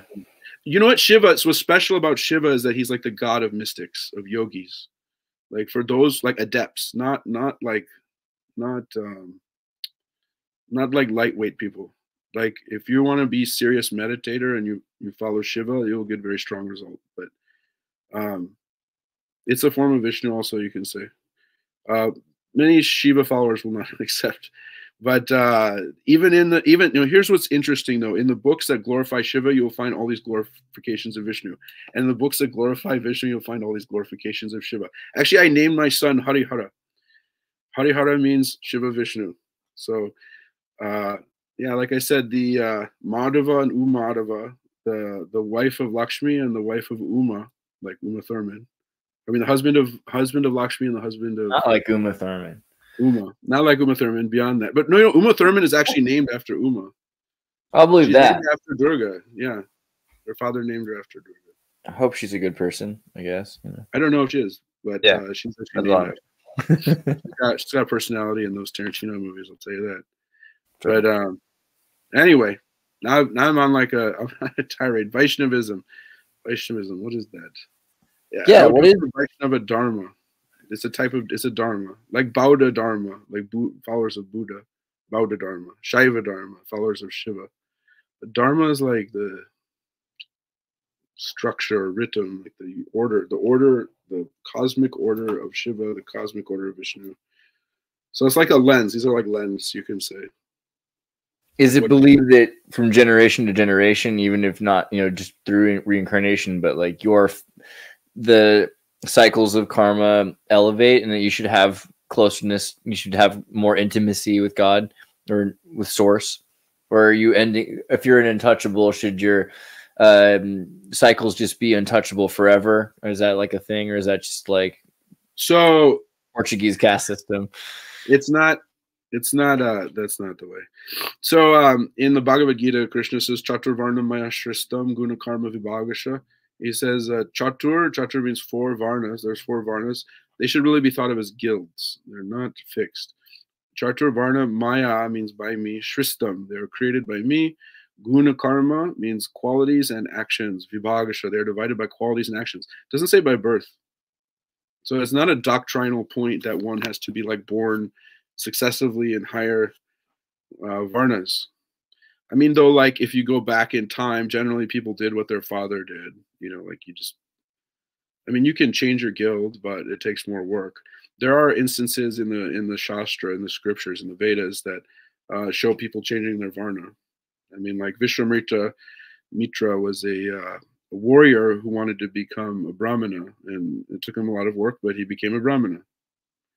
You know, so the untouchability thing, this thing is most almost died out.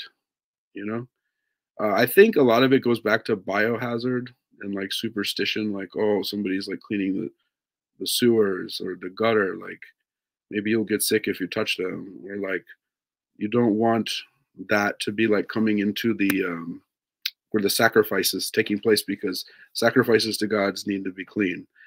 You know, maybe if the person took a bath or could clean up somehow. Although it's very hard, you know, like with the biohazard thing. Um, I know that's kind of a modern interpretation, but the idea of untouchability is mostly gone away. Interesting though that Gandhi called them Harijana. Harijana is another word for Vaishnava. Harijana, a person of Hari, the untouchables were people of Hari. So he tried to give them very high status. Oh, these are Vaishnava. They are the servants of Vishnu. So you should not disrespect them because disrespecting a Vaishnava is considered to be dangerous. You know, because they won't take offense, but uh, Vishnu will take. Uh, so yeah, untouchability. That's not how it works. So like you you don't you don't only go forward, and you don't go forward materially. You go forward spiritually. It's not like oh, I did some good karma. So you actually can't escape samsara through karma. And since Varnashram, it's called Varnashram Dharma, where you have four castes. Caste is actually a Portuguese concept. It's kind of like more racial. Like you have mulattoes and uh, mestizos and amerindios or whatever. You know, it, that's like a racist kind of interpretation of, of uh, social hierarchy. That's not Varna at all. Varna's guild. Since the Brahmanas were the learned, you know, the society pre prized knowledge. You know, their their sporting events were debates that people would argue. The gurus would come with their disciples, they would argue, and then one guru would have to surrender to the other when they lost the debate.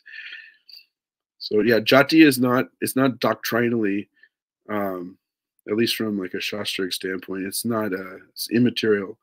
Your jati, like I'm not even I'm not even in the I'm antyaja. I wouldn't even fit into their thing because I'm not even born in the culture. But you know, by learning Sanskrit and by studying all the traditions, like no, I've never been disrespected like that as a, like an outsider. And I don't mm-hmm. even hear people. I never really hear people using the word untouchable, like achyut or something. Like I'd never heard this. Like I lived in India for years, never heard anybody saying achyut. Maybe I just kept good company and I didn't hang out with like low class, like racist people. But like uh, a billion people, I'm sure it's possible, but yeah, you get the point. Yeah, yeah I'm sure. No, I'm sure. Like I think there's more people back in the villages and stuff. Like some people. It's not socially encouraged, but yeah, yeah, yeah, yeah, It's been pretty stamped out pretty hard. There's a lot of like anti, um, what do you call it, discrimination measures in India.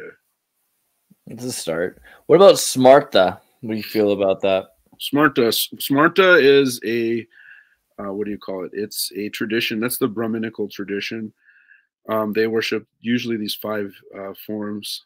Um, but the word smarta comes from smrita, from the smriti. What's that called again? The five forms, that word? Uh, was it Panchopashana? They do uh, worship of these five pancha. They worship the five. You know, you have Vishnu and Shiva and Shakti and Ganesh. I believe Surya.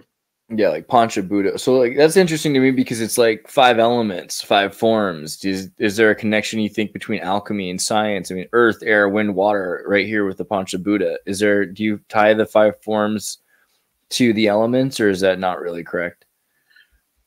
Uh, you know, I'm not an expert in Smarta, but I don't think that that is the, the technically correct thing. The five elements come from what's called Sankhya, Sankhya means to count. Uh, Sankhya is very old. So it's one of the six Indian schools of philosophical, of metaphysics. So there's six Indian schools of metaphysics. One of them is called Sankhya. And the five elements, like you've described, earth, water, fire, air, and ether, those five are um, described in the school of Sankhya. And those five are thought to generate the organs How do I spell Sankhya? S A? S A M K H Y A. Samkhya. Okay. Samkhya is very old. Nobody knows how old this thing is. Um, there are not that many surviving texts of this school, but everybody uses their metaphysics. It's more of a metaphysics of like consciousness. So I can describe you Sankhya Yoga really quick. There's five Yeah. elements, like you've described. There's five set. There's five knowledge organs. Those are called Gyan Indriya. That means your five senses, right? So the senses are thought as, of as knowledge organs. So they give you information. They're in, inflowing.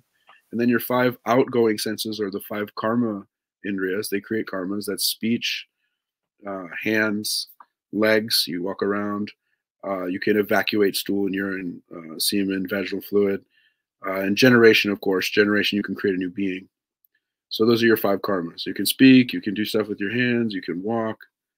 You know, uh, locomotion. Right. You can pass stool and urine. You can generate a new being with sexual fluid. So um, those are your five organs of karma, five organs of knowledge, five organs of karma, five elements, and then five sense objects. Those are called tanmatra. Tanmatra means that which is measured. Five things being measured. Um, that means your organ of taste, your organ of smell, your organ of sight, your organ of sound, your organ of touch, touching your skin. Right? These are um, or the the thing that's being measured, not the organ. Excuse me. The sense. So like smells, odors, flavors, sensations forms, right, and sounds, right? And then you have four subtle elements. That's called your. So you have the that's the external body. That's your material external body. The guna? The three gunas. Is that That's different? Even, that's even higher. That's so we're getting there. We're almost there. I'm sorry. I'm sorry. I'm sorry. No, I know. I know. I just fucking ramble at you, man. Sorry. Punishing you, man. That's your fault for bringing me on, man. Just kidding. so, so the uh then you have so your mature you have a body made of food, right? And your food body is where you have your organs, your sense objects, right? Those things, the elements are in the food body, right? Then you have a mental body that consists of mind, intelligence, ego, and like something like Kant's Immanuel Kant's transcendental apperception called chitta. It's like cognitive process. Emmanuel really was a. Never mind. Keep going. So okay, so there's manas, mind, right? Buddhi, like mana, mana, right? You know, maybe you're familiar with that. Remember that game, Secrets of Mana, back in the day. Uh, mana, buddhi, ahankara. Ahankara is more like so the Indian ego is more like an agency, and agency means doership. So because that's connected to karma, so that your ego is actually the thing. The ahankara is the thing that's getting you entangled in karma, right? That I am the doer, I am the doer. You know that makes your false identity, right? And then chitta is like where all your bhava, your emotions, and your smriti, your memories are stored. And all of these 24 elements constitute Sankhya. Right? And the yoga of Samkhya is to discriminate these. I just got to tell Stefan, Dr. Shiva will be here on the 16th. We actually are having Dr. Shiva on. Who's Dr. Sorry. Shiva? He's Oh, uh the dude. He's an Indian dude who's uh, patented email, electronic mail, back in the 1968 or something like that. And yeah, it's pretty sweet. And he's uh, uh running for some sort of political. He's running for president, but I don't remember which party. I think Libertarian was one of those things earlier I was talking about. But he's a Hindu. Right. Yeah. How about that? All right. But sorry, man is Buddhi, Chitta, Ahankara, the ego, Ahankara, consciousness, yeah. mind, Kara, like karma, like kriya, like kriya, like your hand, right? Mm. I'm doing, I'm the doer. So the Indian ego is very much entangled with karma. That is the agency. I'm the agent. I'm the doer of this action, right? And because I identify as the doer, I have to enjoy and suffer the results, the reaction, right? So the the problem in this whole system of Sankhya is that your ahankara is overriding your buddhi, your intelligence, and it's making you to get entangled and identify with your actions and with the the five elements, the the organs, uh, all those things. And what you have to do is use your intellect to control your mind, to surpass your ahankara and uh, bring your chitta into consciousness of Ishvara. I know it's just like very technical, but uh, yeah, you're using you I mean, your uh, would you use these English words, or is that not good? You should use your um. How, what, these what are all very word? loaded. Yeah, you can start with this. It's fine. It's fine. You can start with that. But yeah, they get very technical. Like, right. How do I spell that? what? You said to from um Umkar to Ashwara. Did you say Ashwara? Ishvara. Ishvara, Ishvara is the self of the self. This is God. Vishnu, Shiva, Ishwari, Shakti, right? Ishvara. Ishvara. Ishwaras, even the gods could be called Ishwaras. They have Ishwara means one who can, one whose desires like become like they control. They're controllers. They have Okay, so like the dominant mood and personality of the existence. yeah, they're like they're they have dominion over certain things. Like like uh, Ishwara of fire is Agni. He is like the predominating deity of fire, right? Or Indra, he is the predominating deity of weather and of the sense organs and uh, the king of the gods, like that. Brahma is the predominating deity, Ishwara. You know, so all of the gods could be called Ishwaras, but like Ishwara with a capital I, like the supreme god. So like the Ishwaras, like the the devas, the uh, the gods are like organs on the bo- body. They're organs of the body of God. So like God has all functions. So all the functions are there. You could even consider the asuras, like the demons, to be a demonic function, like lust and greed and hatred. These are also like functions, universal functions. But kind also, of like Ishvara is like the personal deity. So, like your own personal Ishvara, your own personal Ishvara. Yep, Ishvara. you got it, man. You know this stuff. man. Yeah, right. I mean, It's like like you like pretend that you don't know, but you actually know. You're a good you're a good interviewer. You're you're gracious. Throw me the. I feel like I feel like there is though. There's some truth to this idea that you have this. idea. I mean, this sounds like apotheosis to an extent as well. You've got the manifestation of the final form or the most correct form of that existence. So, does that mean that Narayana or Vishnu is the Ishvara of existence? Like the final form or the most the form with the most dominion? So when you're talking about hierarchy, you're talking like the Sanskrit word there would be taratamya means better best. You're talking about like you know it's actually an considered an offense um, to the name of Hari, to the name of Vishnu, to see a difference between him and Shiva. So uh, if a Vaishnava does that, he's actually damaging his spiritual practice. So for me to say no, I would say Vishnu is the Param Padam. Actually, the Veda says Om Tad Vishnu Paramam Padam. Vishnu, Om is that. That is Vishnu. And Vishnu is Param, supreme. Padam means, Padam is a very untranslatable word. It means like foot. So Shiva might be the. Ishvara of Vishnu in a sense. Uh, yeah, I said that earlier. So Vishnu has a god that is Shiva, but Shiva has a god that is Vishnu. So even God has a god. But this there, there's like a relationship between Shiva and Vishnu, which is that they like to bow down to each other. Right. so uh sometimes you'll So hear the breaks the whole argument of hierarchy. You can't you can't use the this hierarchy. is a different system. This system is very different. So like you know, like you try to go in the Western system, like, well, who is the God of God? they're like, what the fuck are you talking about, man? Get the hell out of here. Excuse my language. Am I gonna get you taken down? I'm a blue collar worker, man. I'm a nurse. I work in a hospital. I'll be swearing- swearing in the bedroom, I'm angry about the system and like the junkies and all that stuff. You know. No, you're fine. I think it's Okay. interesting. I like that. I like the because I mean, but that's different though because the question still arises then like if there's no hierarchy are this the same person or are they literally equal parts or are they just part of the you know the dynamic that's necessary for like a body like there has to be parts of a body or Well, so if I want to start, if I want to start saying that you could do a classification, um, not on ontology but on flavor, I could start to make a very strong case for Krishna and Vishnu because um, Shiva's usually is like just in meditation. He's like exemplar guru. So at least the way the Vaishnavas see Shiva is he is like the bodily luster of the Lord, which is also the Lord.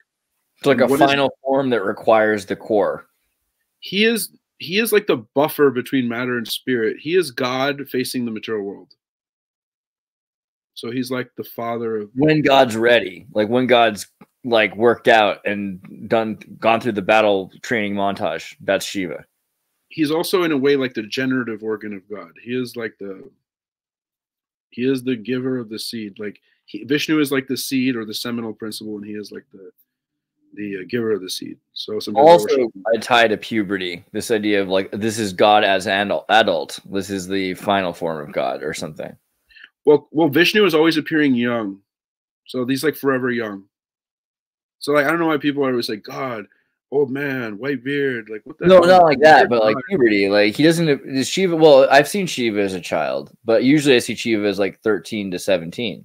right, 27. right. So this is called Kaishora. Kaishora. So there's three. So when you write when you write dramas in poetry, they rank like these ages as like having more and more flavor. So like baby has a certain flavor for the parents. For older people, they like relish the baby and it's cooing and like it's sticking its tongue out, trying to get some milk and like it's little pumping its arms and hands. You know how babies are, and uh, you know they relish uh, that. But then that is a kind of a limited flavor. That, that- but when the child starts to develop more, this is called bala. They have like childhood behaviors are like sometimes naughty, sometimes they cry, and sometimes they make you laugh and say kind of silly things. You know, like what did my son say that was so funny? He's like, "Just you know," he said to me. I guess he's listening to me. He's like, "Just you know, father, that I am not dehydrated." Like, okay, my son, I'm glad that you're not dehydrated. He's like, Setting goals, bro. just you know. goals. I like the one you told me. He said, he's, "Your son told you, um, how can I get what I want without doing what you ask of me, Father?" Yeah, he That- said that when he was four. I was like, oh no, it's really hard to uh, try to uh, keep up with him. And it's it yeah, I have to treat him well. He can't he can't pull fast one on him. But okay, Right. so there's this idea of like the, the. Uh, third one, the Kaishora, 13 to 17. Kaishora. Yeah, I'm sorry, these long answers. I'm giving you the technical. no, no, no, no, I'm just trying to like pull up the images. I'm just trying to be, give you reliable information. Do you know? Do you know that the difficulty is not in understanding Hinduism? It's in getting reliable information because there's so much wrong information. That's actually the difficulty.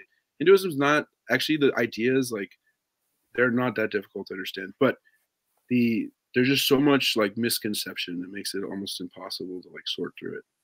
Um, so the Kaishora age, that youthful age, that teenage, that's when your senses are the strongest. Your passion is the strongest. You know you're ro- most ready for romance you know like you're like you're going out like you know Well, what about the scary form? going out to meet each other and sneaking away from their parents and stuff what's this this sage The scary this form. form, this form of shiva aghora Yeah. horrible the, uh, terrifying the terrifying so so so in all the deities have you ever read tibetan book of the dead are you familiar with that text Indeed. Yeah. Yes. Yes. you know they call One time I remember in third grade, I had to print out the, the Santa Cruz Public Library and there was a storm. And I was like, I need for my book report, the Book of the Dead. So I was going to print it out. And like, you shouldn't print out like 100, 300 pages. I'm like, it's all right. And then there was like a lightning bolt and the entire library went out. And I only got like 33 pages printed of it. I'll never forget that day. Mm, 33. So uh so uh yeah, it's interesting. Wow, It's the. Aghora, There's the Aghora, the Aghori follow the Aghora, right? Isn't it? This is so funny. Uh did you ever see that like CNN like guy like he's like a chomp like what's his name Reza Aslan or something he tried to like become a disciple of like the Aghori Baba and like the Baba like threw urine on him so like there's these peaceful and wrathful forms of the deity so it's more of a tantric Oh man, they did, didn't they? That's straight up. Those are straight up human remains. They put this on him, and he got freaked out.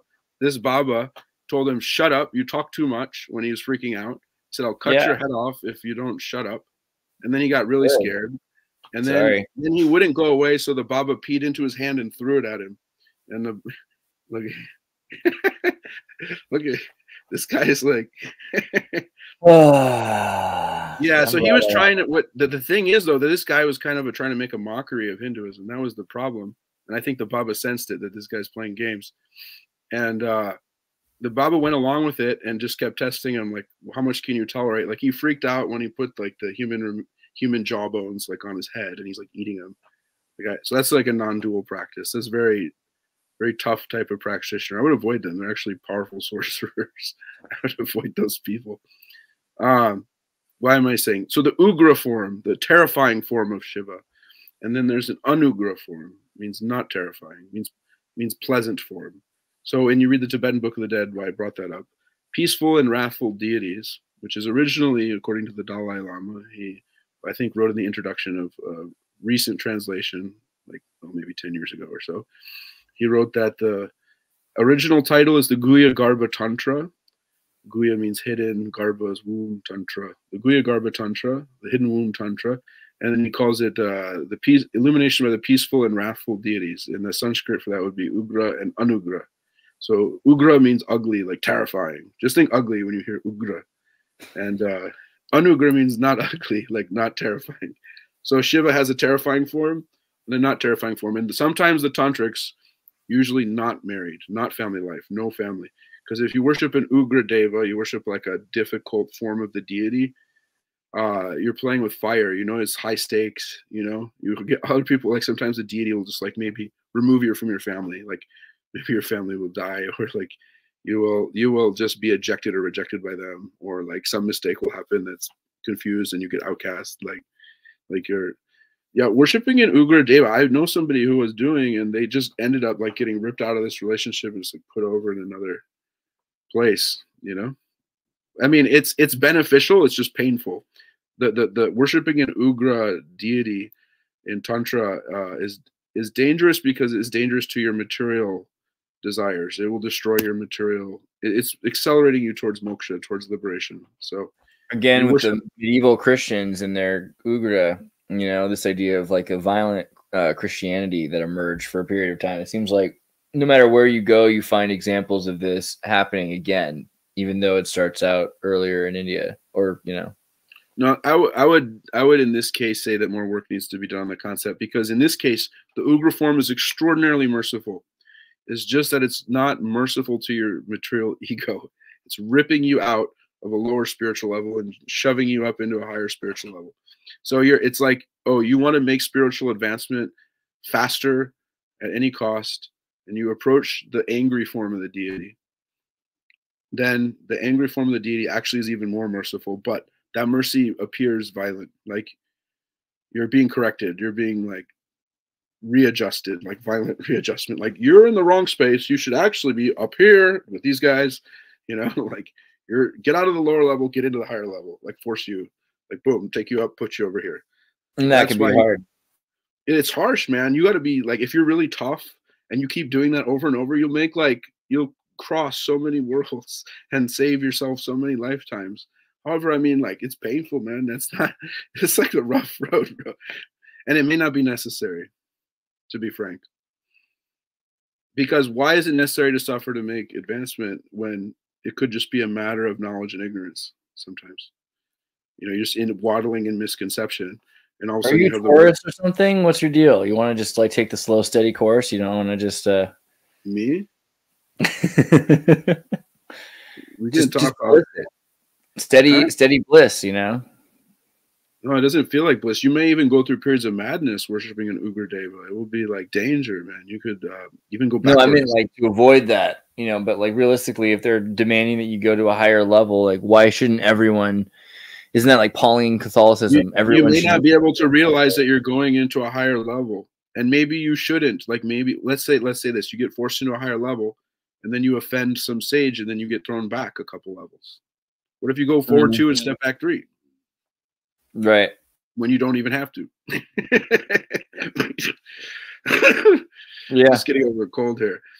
Yeah, you see, it's complicated, but there's a there is a rationality in in the Hindu system, but it's it's not like you got to be a genius to understand it. It's just there's like not good information. I, I think I think you follow everything like it makes sense. Like not I'm not saying you have to believe in this, but I'm just saying like the system itself has its own internal logic. Right.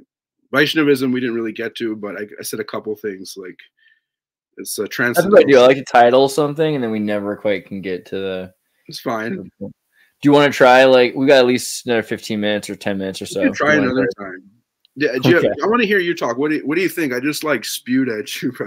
what, no, I mean this is all important. I think it's just interesting because to me there is a um like esoteric, more Gnostic understanding in the West that is identical or very close to identical and would be willing to sacrifice a lot of its own uh, presuppositions in order to align itself closer and be more identical and harmonized with the Veda. So I mean, it's interesting because there I see where you're coming from. That a lot of people in America like, whoa, multiple God. Like it seems weird to, to I can see how it could seem weird to somebody, but I just am so alien to normal normalcy. Like I'm so much more familiar with um, this idea, and even just reading the Bible, like it talks about have no other gods before me, and there's like I'm supposed to be this jealous God. We've been talking to people about the pre uh, first temple period in the first temple period, how they had Asherah, the wife of God, this kind of Mahadevi, and they erased and destroyed and cannibalized, literally cannibalized each other uh, to get rid of the first temple period. So I'm more and more interested in how there is like a pre-flood, antediluvian harmonization between these things, and I'm aiming, I'm leaning towards Veda as the thing that has held on to the truth longer. You know, because there's definitely examples in the West of um, organizational secular manipulation of religion for the purpose of the state during the crusades into you know beyond that like theodosia um the in 525 in, in byzantium. The byzantium period gets a lot of credit for saving christianity and in my opinion it's like the thing that inverted christianity. And i just i keep seeing like when i look at the life of christ I mean, I'm sorry because I know we're talking about Hinduism, but it just it really does sound to me a lot more like the Veda than it does like Judaism, you know. And I think that there there's something about that. There's some point to bringing back um, living your life for a purpose and the consequences of that. And it just also the idea that Vishnu is laughing at other people's attempts to step on him, you know, is just exactly like there. It's true. It's a stacked portfolio, like you said. It's you know, it gets it gets more stacked. And here's another thing: one of the names identifiable and relatable. Check this out though for mercy. When we're talking about mercy, what about this? One of in the there's a thousand names of Vishnu in this uh, this this section of the Mahabharata where Bhishma is lying on the bed of arrows, like he's been pierced. He's a warrior who's invincible, but he's been pierced by a thousand arrows, and he's choosing to allow these arrows to kill him. He could just get back up with all those arrows, but he's like, "No, it's the perfect time to die because Krishna is right here with me." So now I'm going to take my chance to die right in the presence of the Lord and surrender to Him. And and Vish, and is literally just hanging out, like he's he's just like sitting like, and he's like listening to his devotee preach to him. He's just sitting and listening, like, yes, He's so wise. like, and he says in the thousand names of Vishnu, he calls him two names. One is Nimesha, he who blinks, and one is Animesha, he who does not blink. So he calls Krishna, you are the one who blinks, and you are the one who doesn't blink. The meaning of that is if you commit any fault, he blinks, he doesn't even see it. Like if you did a sin or fault, he doesn't even notice that. And uh, if if you do any good action, any service, any devotion to him, or any good thing for others, he just his eyes are unblinking. So he refuses to see the faults of others. Actually, it's considered uh, there's like a list of good qualities that like a brahmana would have. One of them is uh, being averse to fault finding in others, not looking to see their bad quality. Like trying to see good on others is considered to be like a very pious quality. Very difficult to achieve quality, but this is like an attainment. Like if you can attain this kind of consciousness, where you're not finding fault on others all the time. Like, just you know, it's not really good style anyway. Um, then um, you know, this is like a high thing. So he has that. He doesn't see the other's fault. Um, even like there was a thing where he let he, he let Shishupal insult him in the court in front of all the kings, a, a, a hundred insults before he had to kill him because everyone insisted. He's like, no, let him insult me. That's okay. He's like insulting, and you, Krishna, and you, and he's like, yes, yes, you're right. and then it's funny because in Sanskrit, it's such a playful language. If you look at the Sanskrit, you can interpret each of one of those insults as a praise. And right, that's how he was taking it because the, the language is very uh, tricky. There's there's rules that you can do to every single letter in that language to manipulate it. Um, so it's as if the goddess of learning Saraswati had entered onto the tongue of the demon and is praising Krishna to the mouth of the demon. Krishna. Well, getting out what he's trying to say. He's just know? getting it out, man. He's getting it yeah. out. And he, he had that blessing from his mother, who was Krishna's friend. He says, "Please, if my son he does he's adverse to you, he doesn't like you. If he insults you, just tolerate at least hundred insults from him." Krishna's like, "Definitely." he actually, all the kings are like trying to draw their swords, and Krishna's like, "No, you're not drawing a sword on this man. He has my blessings." I know There's we're at the end. concept. It goes even further. It's one thing not to see the fault, but what about this? He enjoys the fault. So he enjoys the imperfections in people. Like, uh, you know, some people who are smarter than others like laugh at like the less intelligent. You know, whoever has some intelligence, if somebody's less intelligent and you like observe their vulgar activities, then you're like kind of like chuckling. Like it's pretty funny, like laughing at foolish people. But he actually enjoys the fault, just like a mother cow enjoys cleaning its calf, like the dirt off its calf by licking it. So it's called dosha bhogya. He is the one who enjoys the fault of his devotee, like a parent, you know. So like, I just I just feel like this is like so much more like his portfolio is freaking impeccable. You know, it's like I don't see anything like, like he's a god. You know, doesn't get anyway.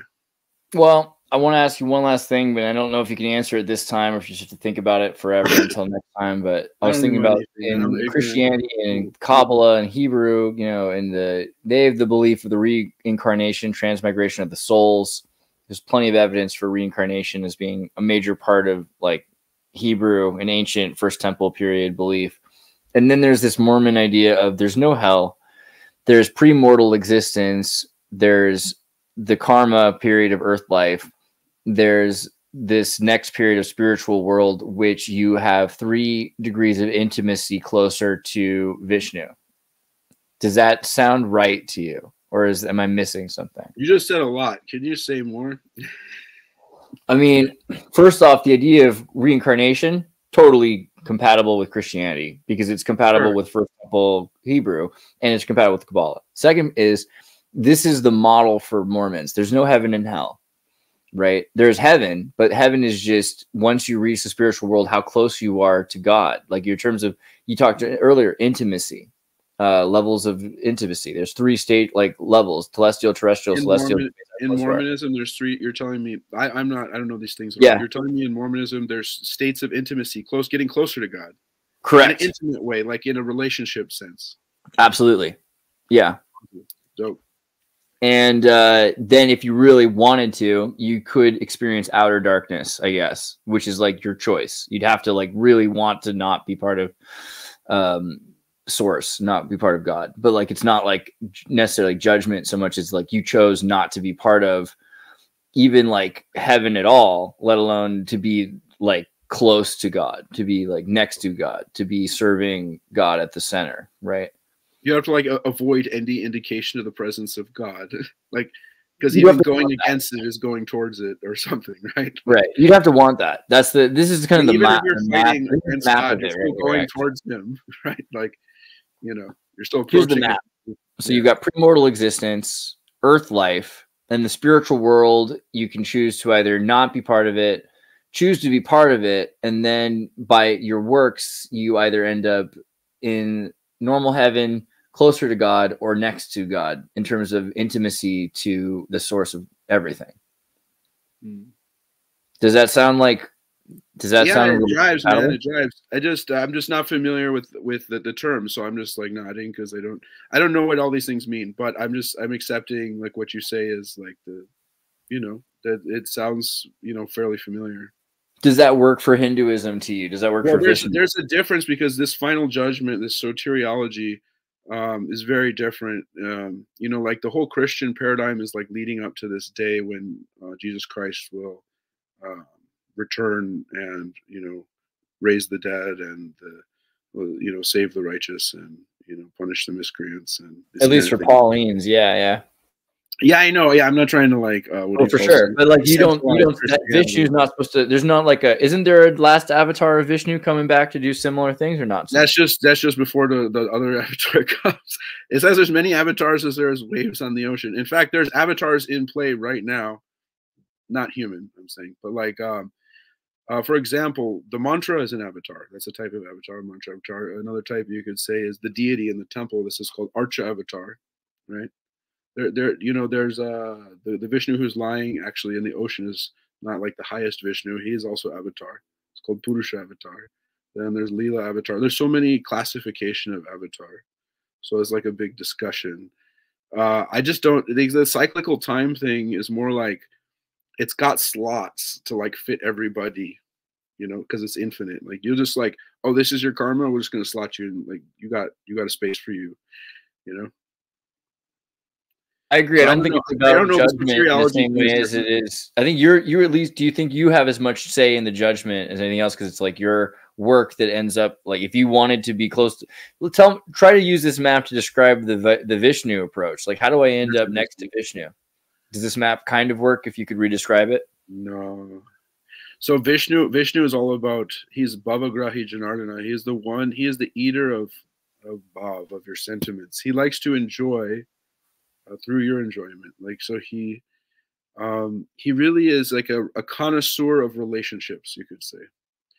So they're like getting close, yeah, like for example, like there's this there's this classic s- statement many gurus have said in different traditions that mosquito is also on- by- on the body of the guru very close but he's biting. Guru so it's not always desirable even to be right next to god. You got to kind of like first deserve then desire. I, that's my understanding. Like you should try to find out so for the vaishnavas at least you're always trying to get more devotion. You're not trying to get salvation. You're not even trying to stand next to krishna. You're trying to like how can i get like you're scheming on like how you you have like a type of greed you have like a like a miser. It says karpanya like you are a miserly person who feels you know no matter how rich a rich person is they always feel like i need more i need more wealth. So like a real devotee is like not like oh now i got this devotion let me spend my devotion capital and get salvation. It's like no no no. You don't understand the real greed here bro.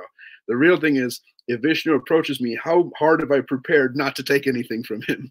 Like he wants to give you he will force him he will force you to take wh- your desires but like can i actually get to him like without desire? Like and be like only desiring more devotion? So like the secret is devotion. I feel like material enjoyment as a byproduct of religion is misdirection. Salvation is also misdirection. Anybody who's actually a servant of god only desires more service to god. And i feel like that's the problem. Like people with the soteriology they're too concerned about their own salvation. It's like do you not believe the lord is merciful you really Right. doubt him So I 100% agree. That's like I think the issue with this. Like, uh, ignore the red letters, because the idea is basically just like your closeness to God. Like you choose, like no matter what happens, there's no hell unless you choose that on purpose. And then there's like intimacy to God, right? Like how close you want to be to being. hey, we're, we're missing out right now. Like you don't have to die to go to heaven. If like the, the the more you go inward meditating, so like the, I would say the main difference between these two is there's practices. There's like mantra and meditation and like there's certain practices for going inward to it to into the state of consciousness because that's where God is actually. He's deeper into the consciousness. He's the origin of your conscious. It's a conscious metaphysics, right? He is the Dude, I wish I had the video of it. When I was a kid, one time I randomly was brought to a Mormon church. It wasn't like I was going there. Like I just went to a bunch of them because I went to different churches, went to you know, went to Hindu temples too, you know. But like they played a kid's video and it was like once upon a time there was uh, you know, this perfect lover of, of all things who prayed and he prayed and he prayed and he prayed. He prayed when he was awake, he prayed when he was asleep. And then eventually he became God you know and it was really interesting because the way it was presented was this idea like this is adam is michael is the you know um like some sort of a like the world that they are they're getting closer and closer to god so they're able to create a world and be like a king over a domain which is bringing people closer to vishnu or god So, Right. so let me ask you this: What's the timeline? When is I, I'm just ignorant. I read the Book of Mormon when I when they you know when I was like 18 or 17. They came and they gave me the book. I was like, I'll read this.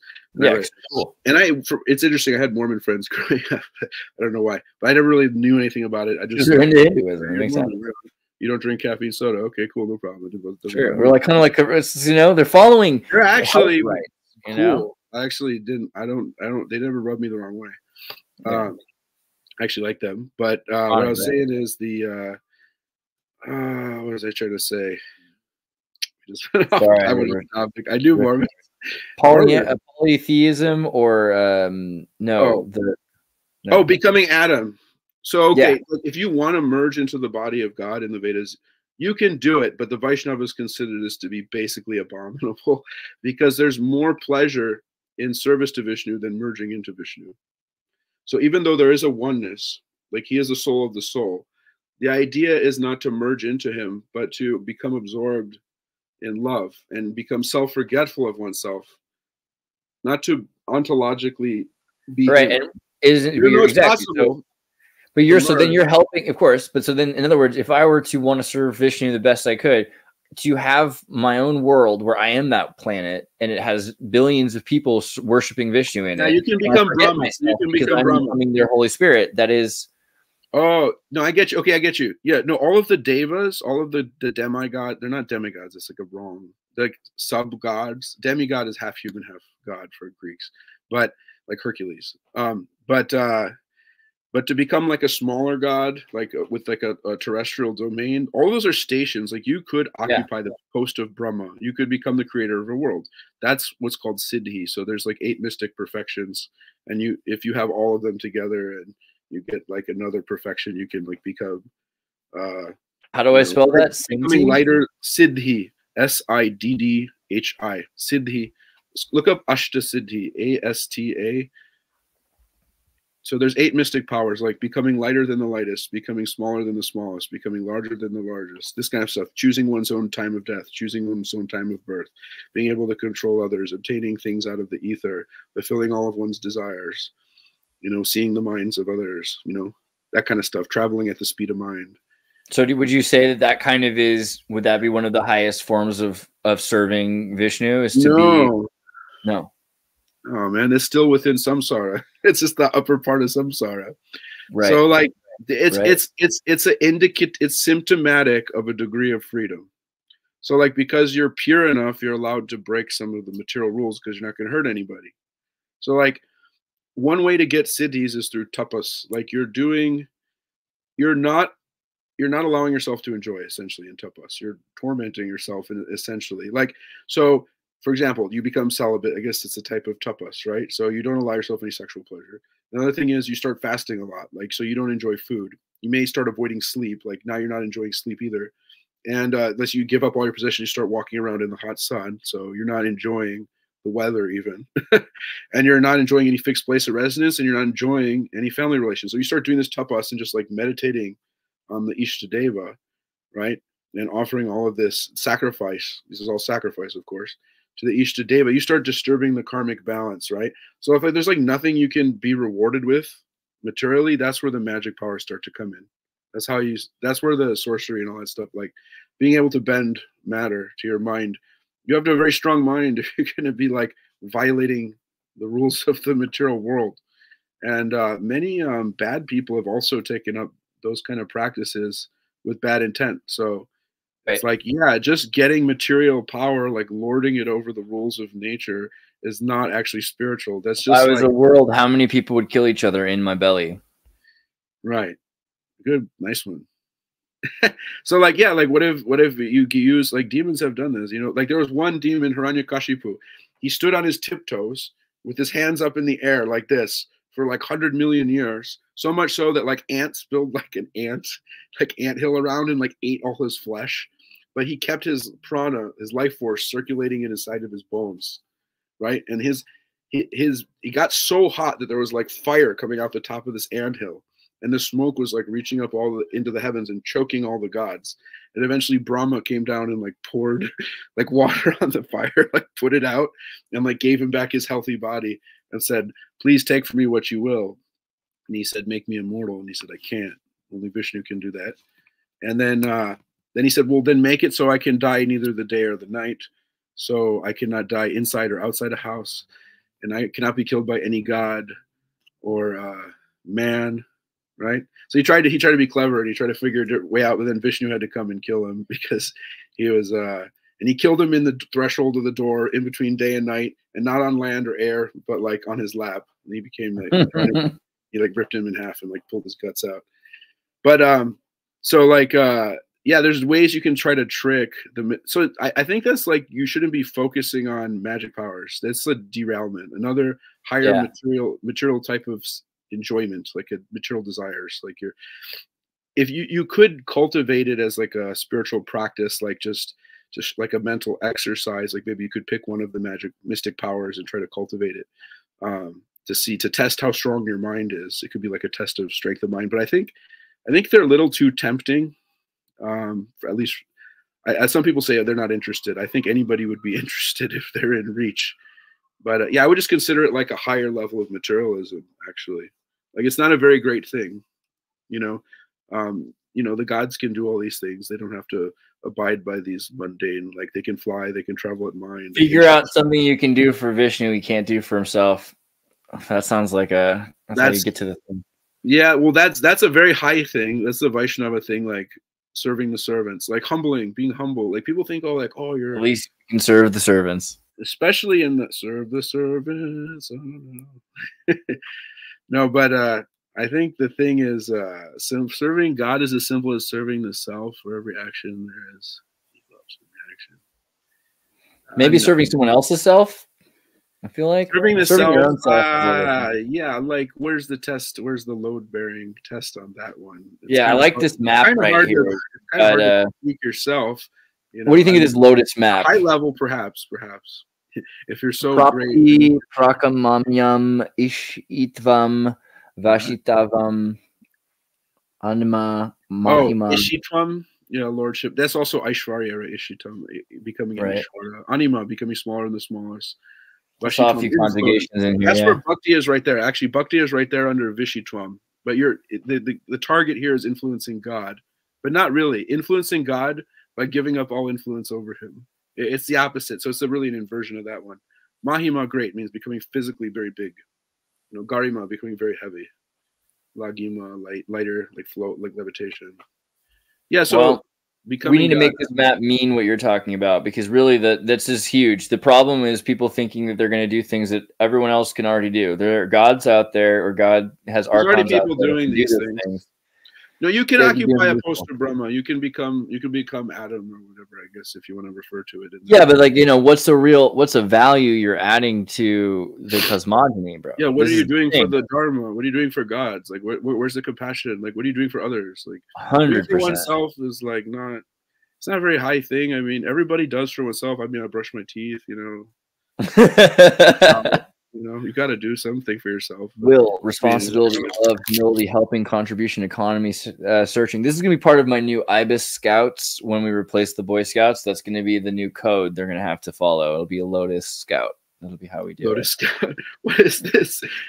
Garuda Scouts. it. Got to come up with some new youth group. Well, it's been two hours. I really love Yeah, you. I. You had the time, man. That was awesome. Can can we do it again soon? You're gonna be able to come back because there's a lot more questions now. Yeah, why not? Sure. It's actually pleasure. No, you're very gracious to share your platform. I don't have anything like to like link to me. I'm not trying to like. eh, This is like like my minimum. I can just do some public service announcement. Like, it's Just... Well, let's play our little Krishna song, and I'll see you soon, man. God bless you. Hari, Hari All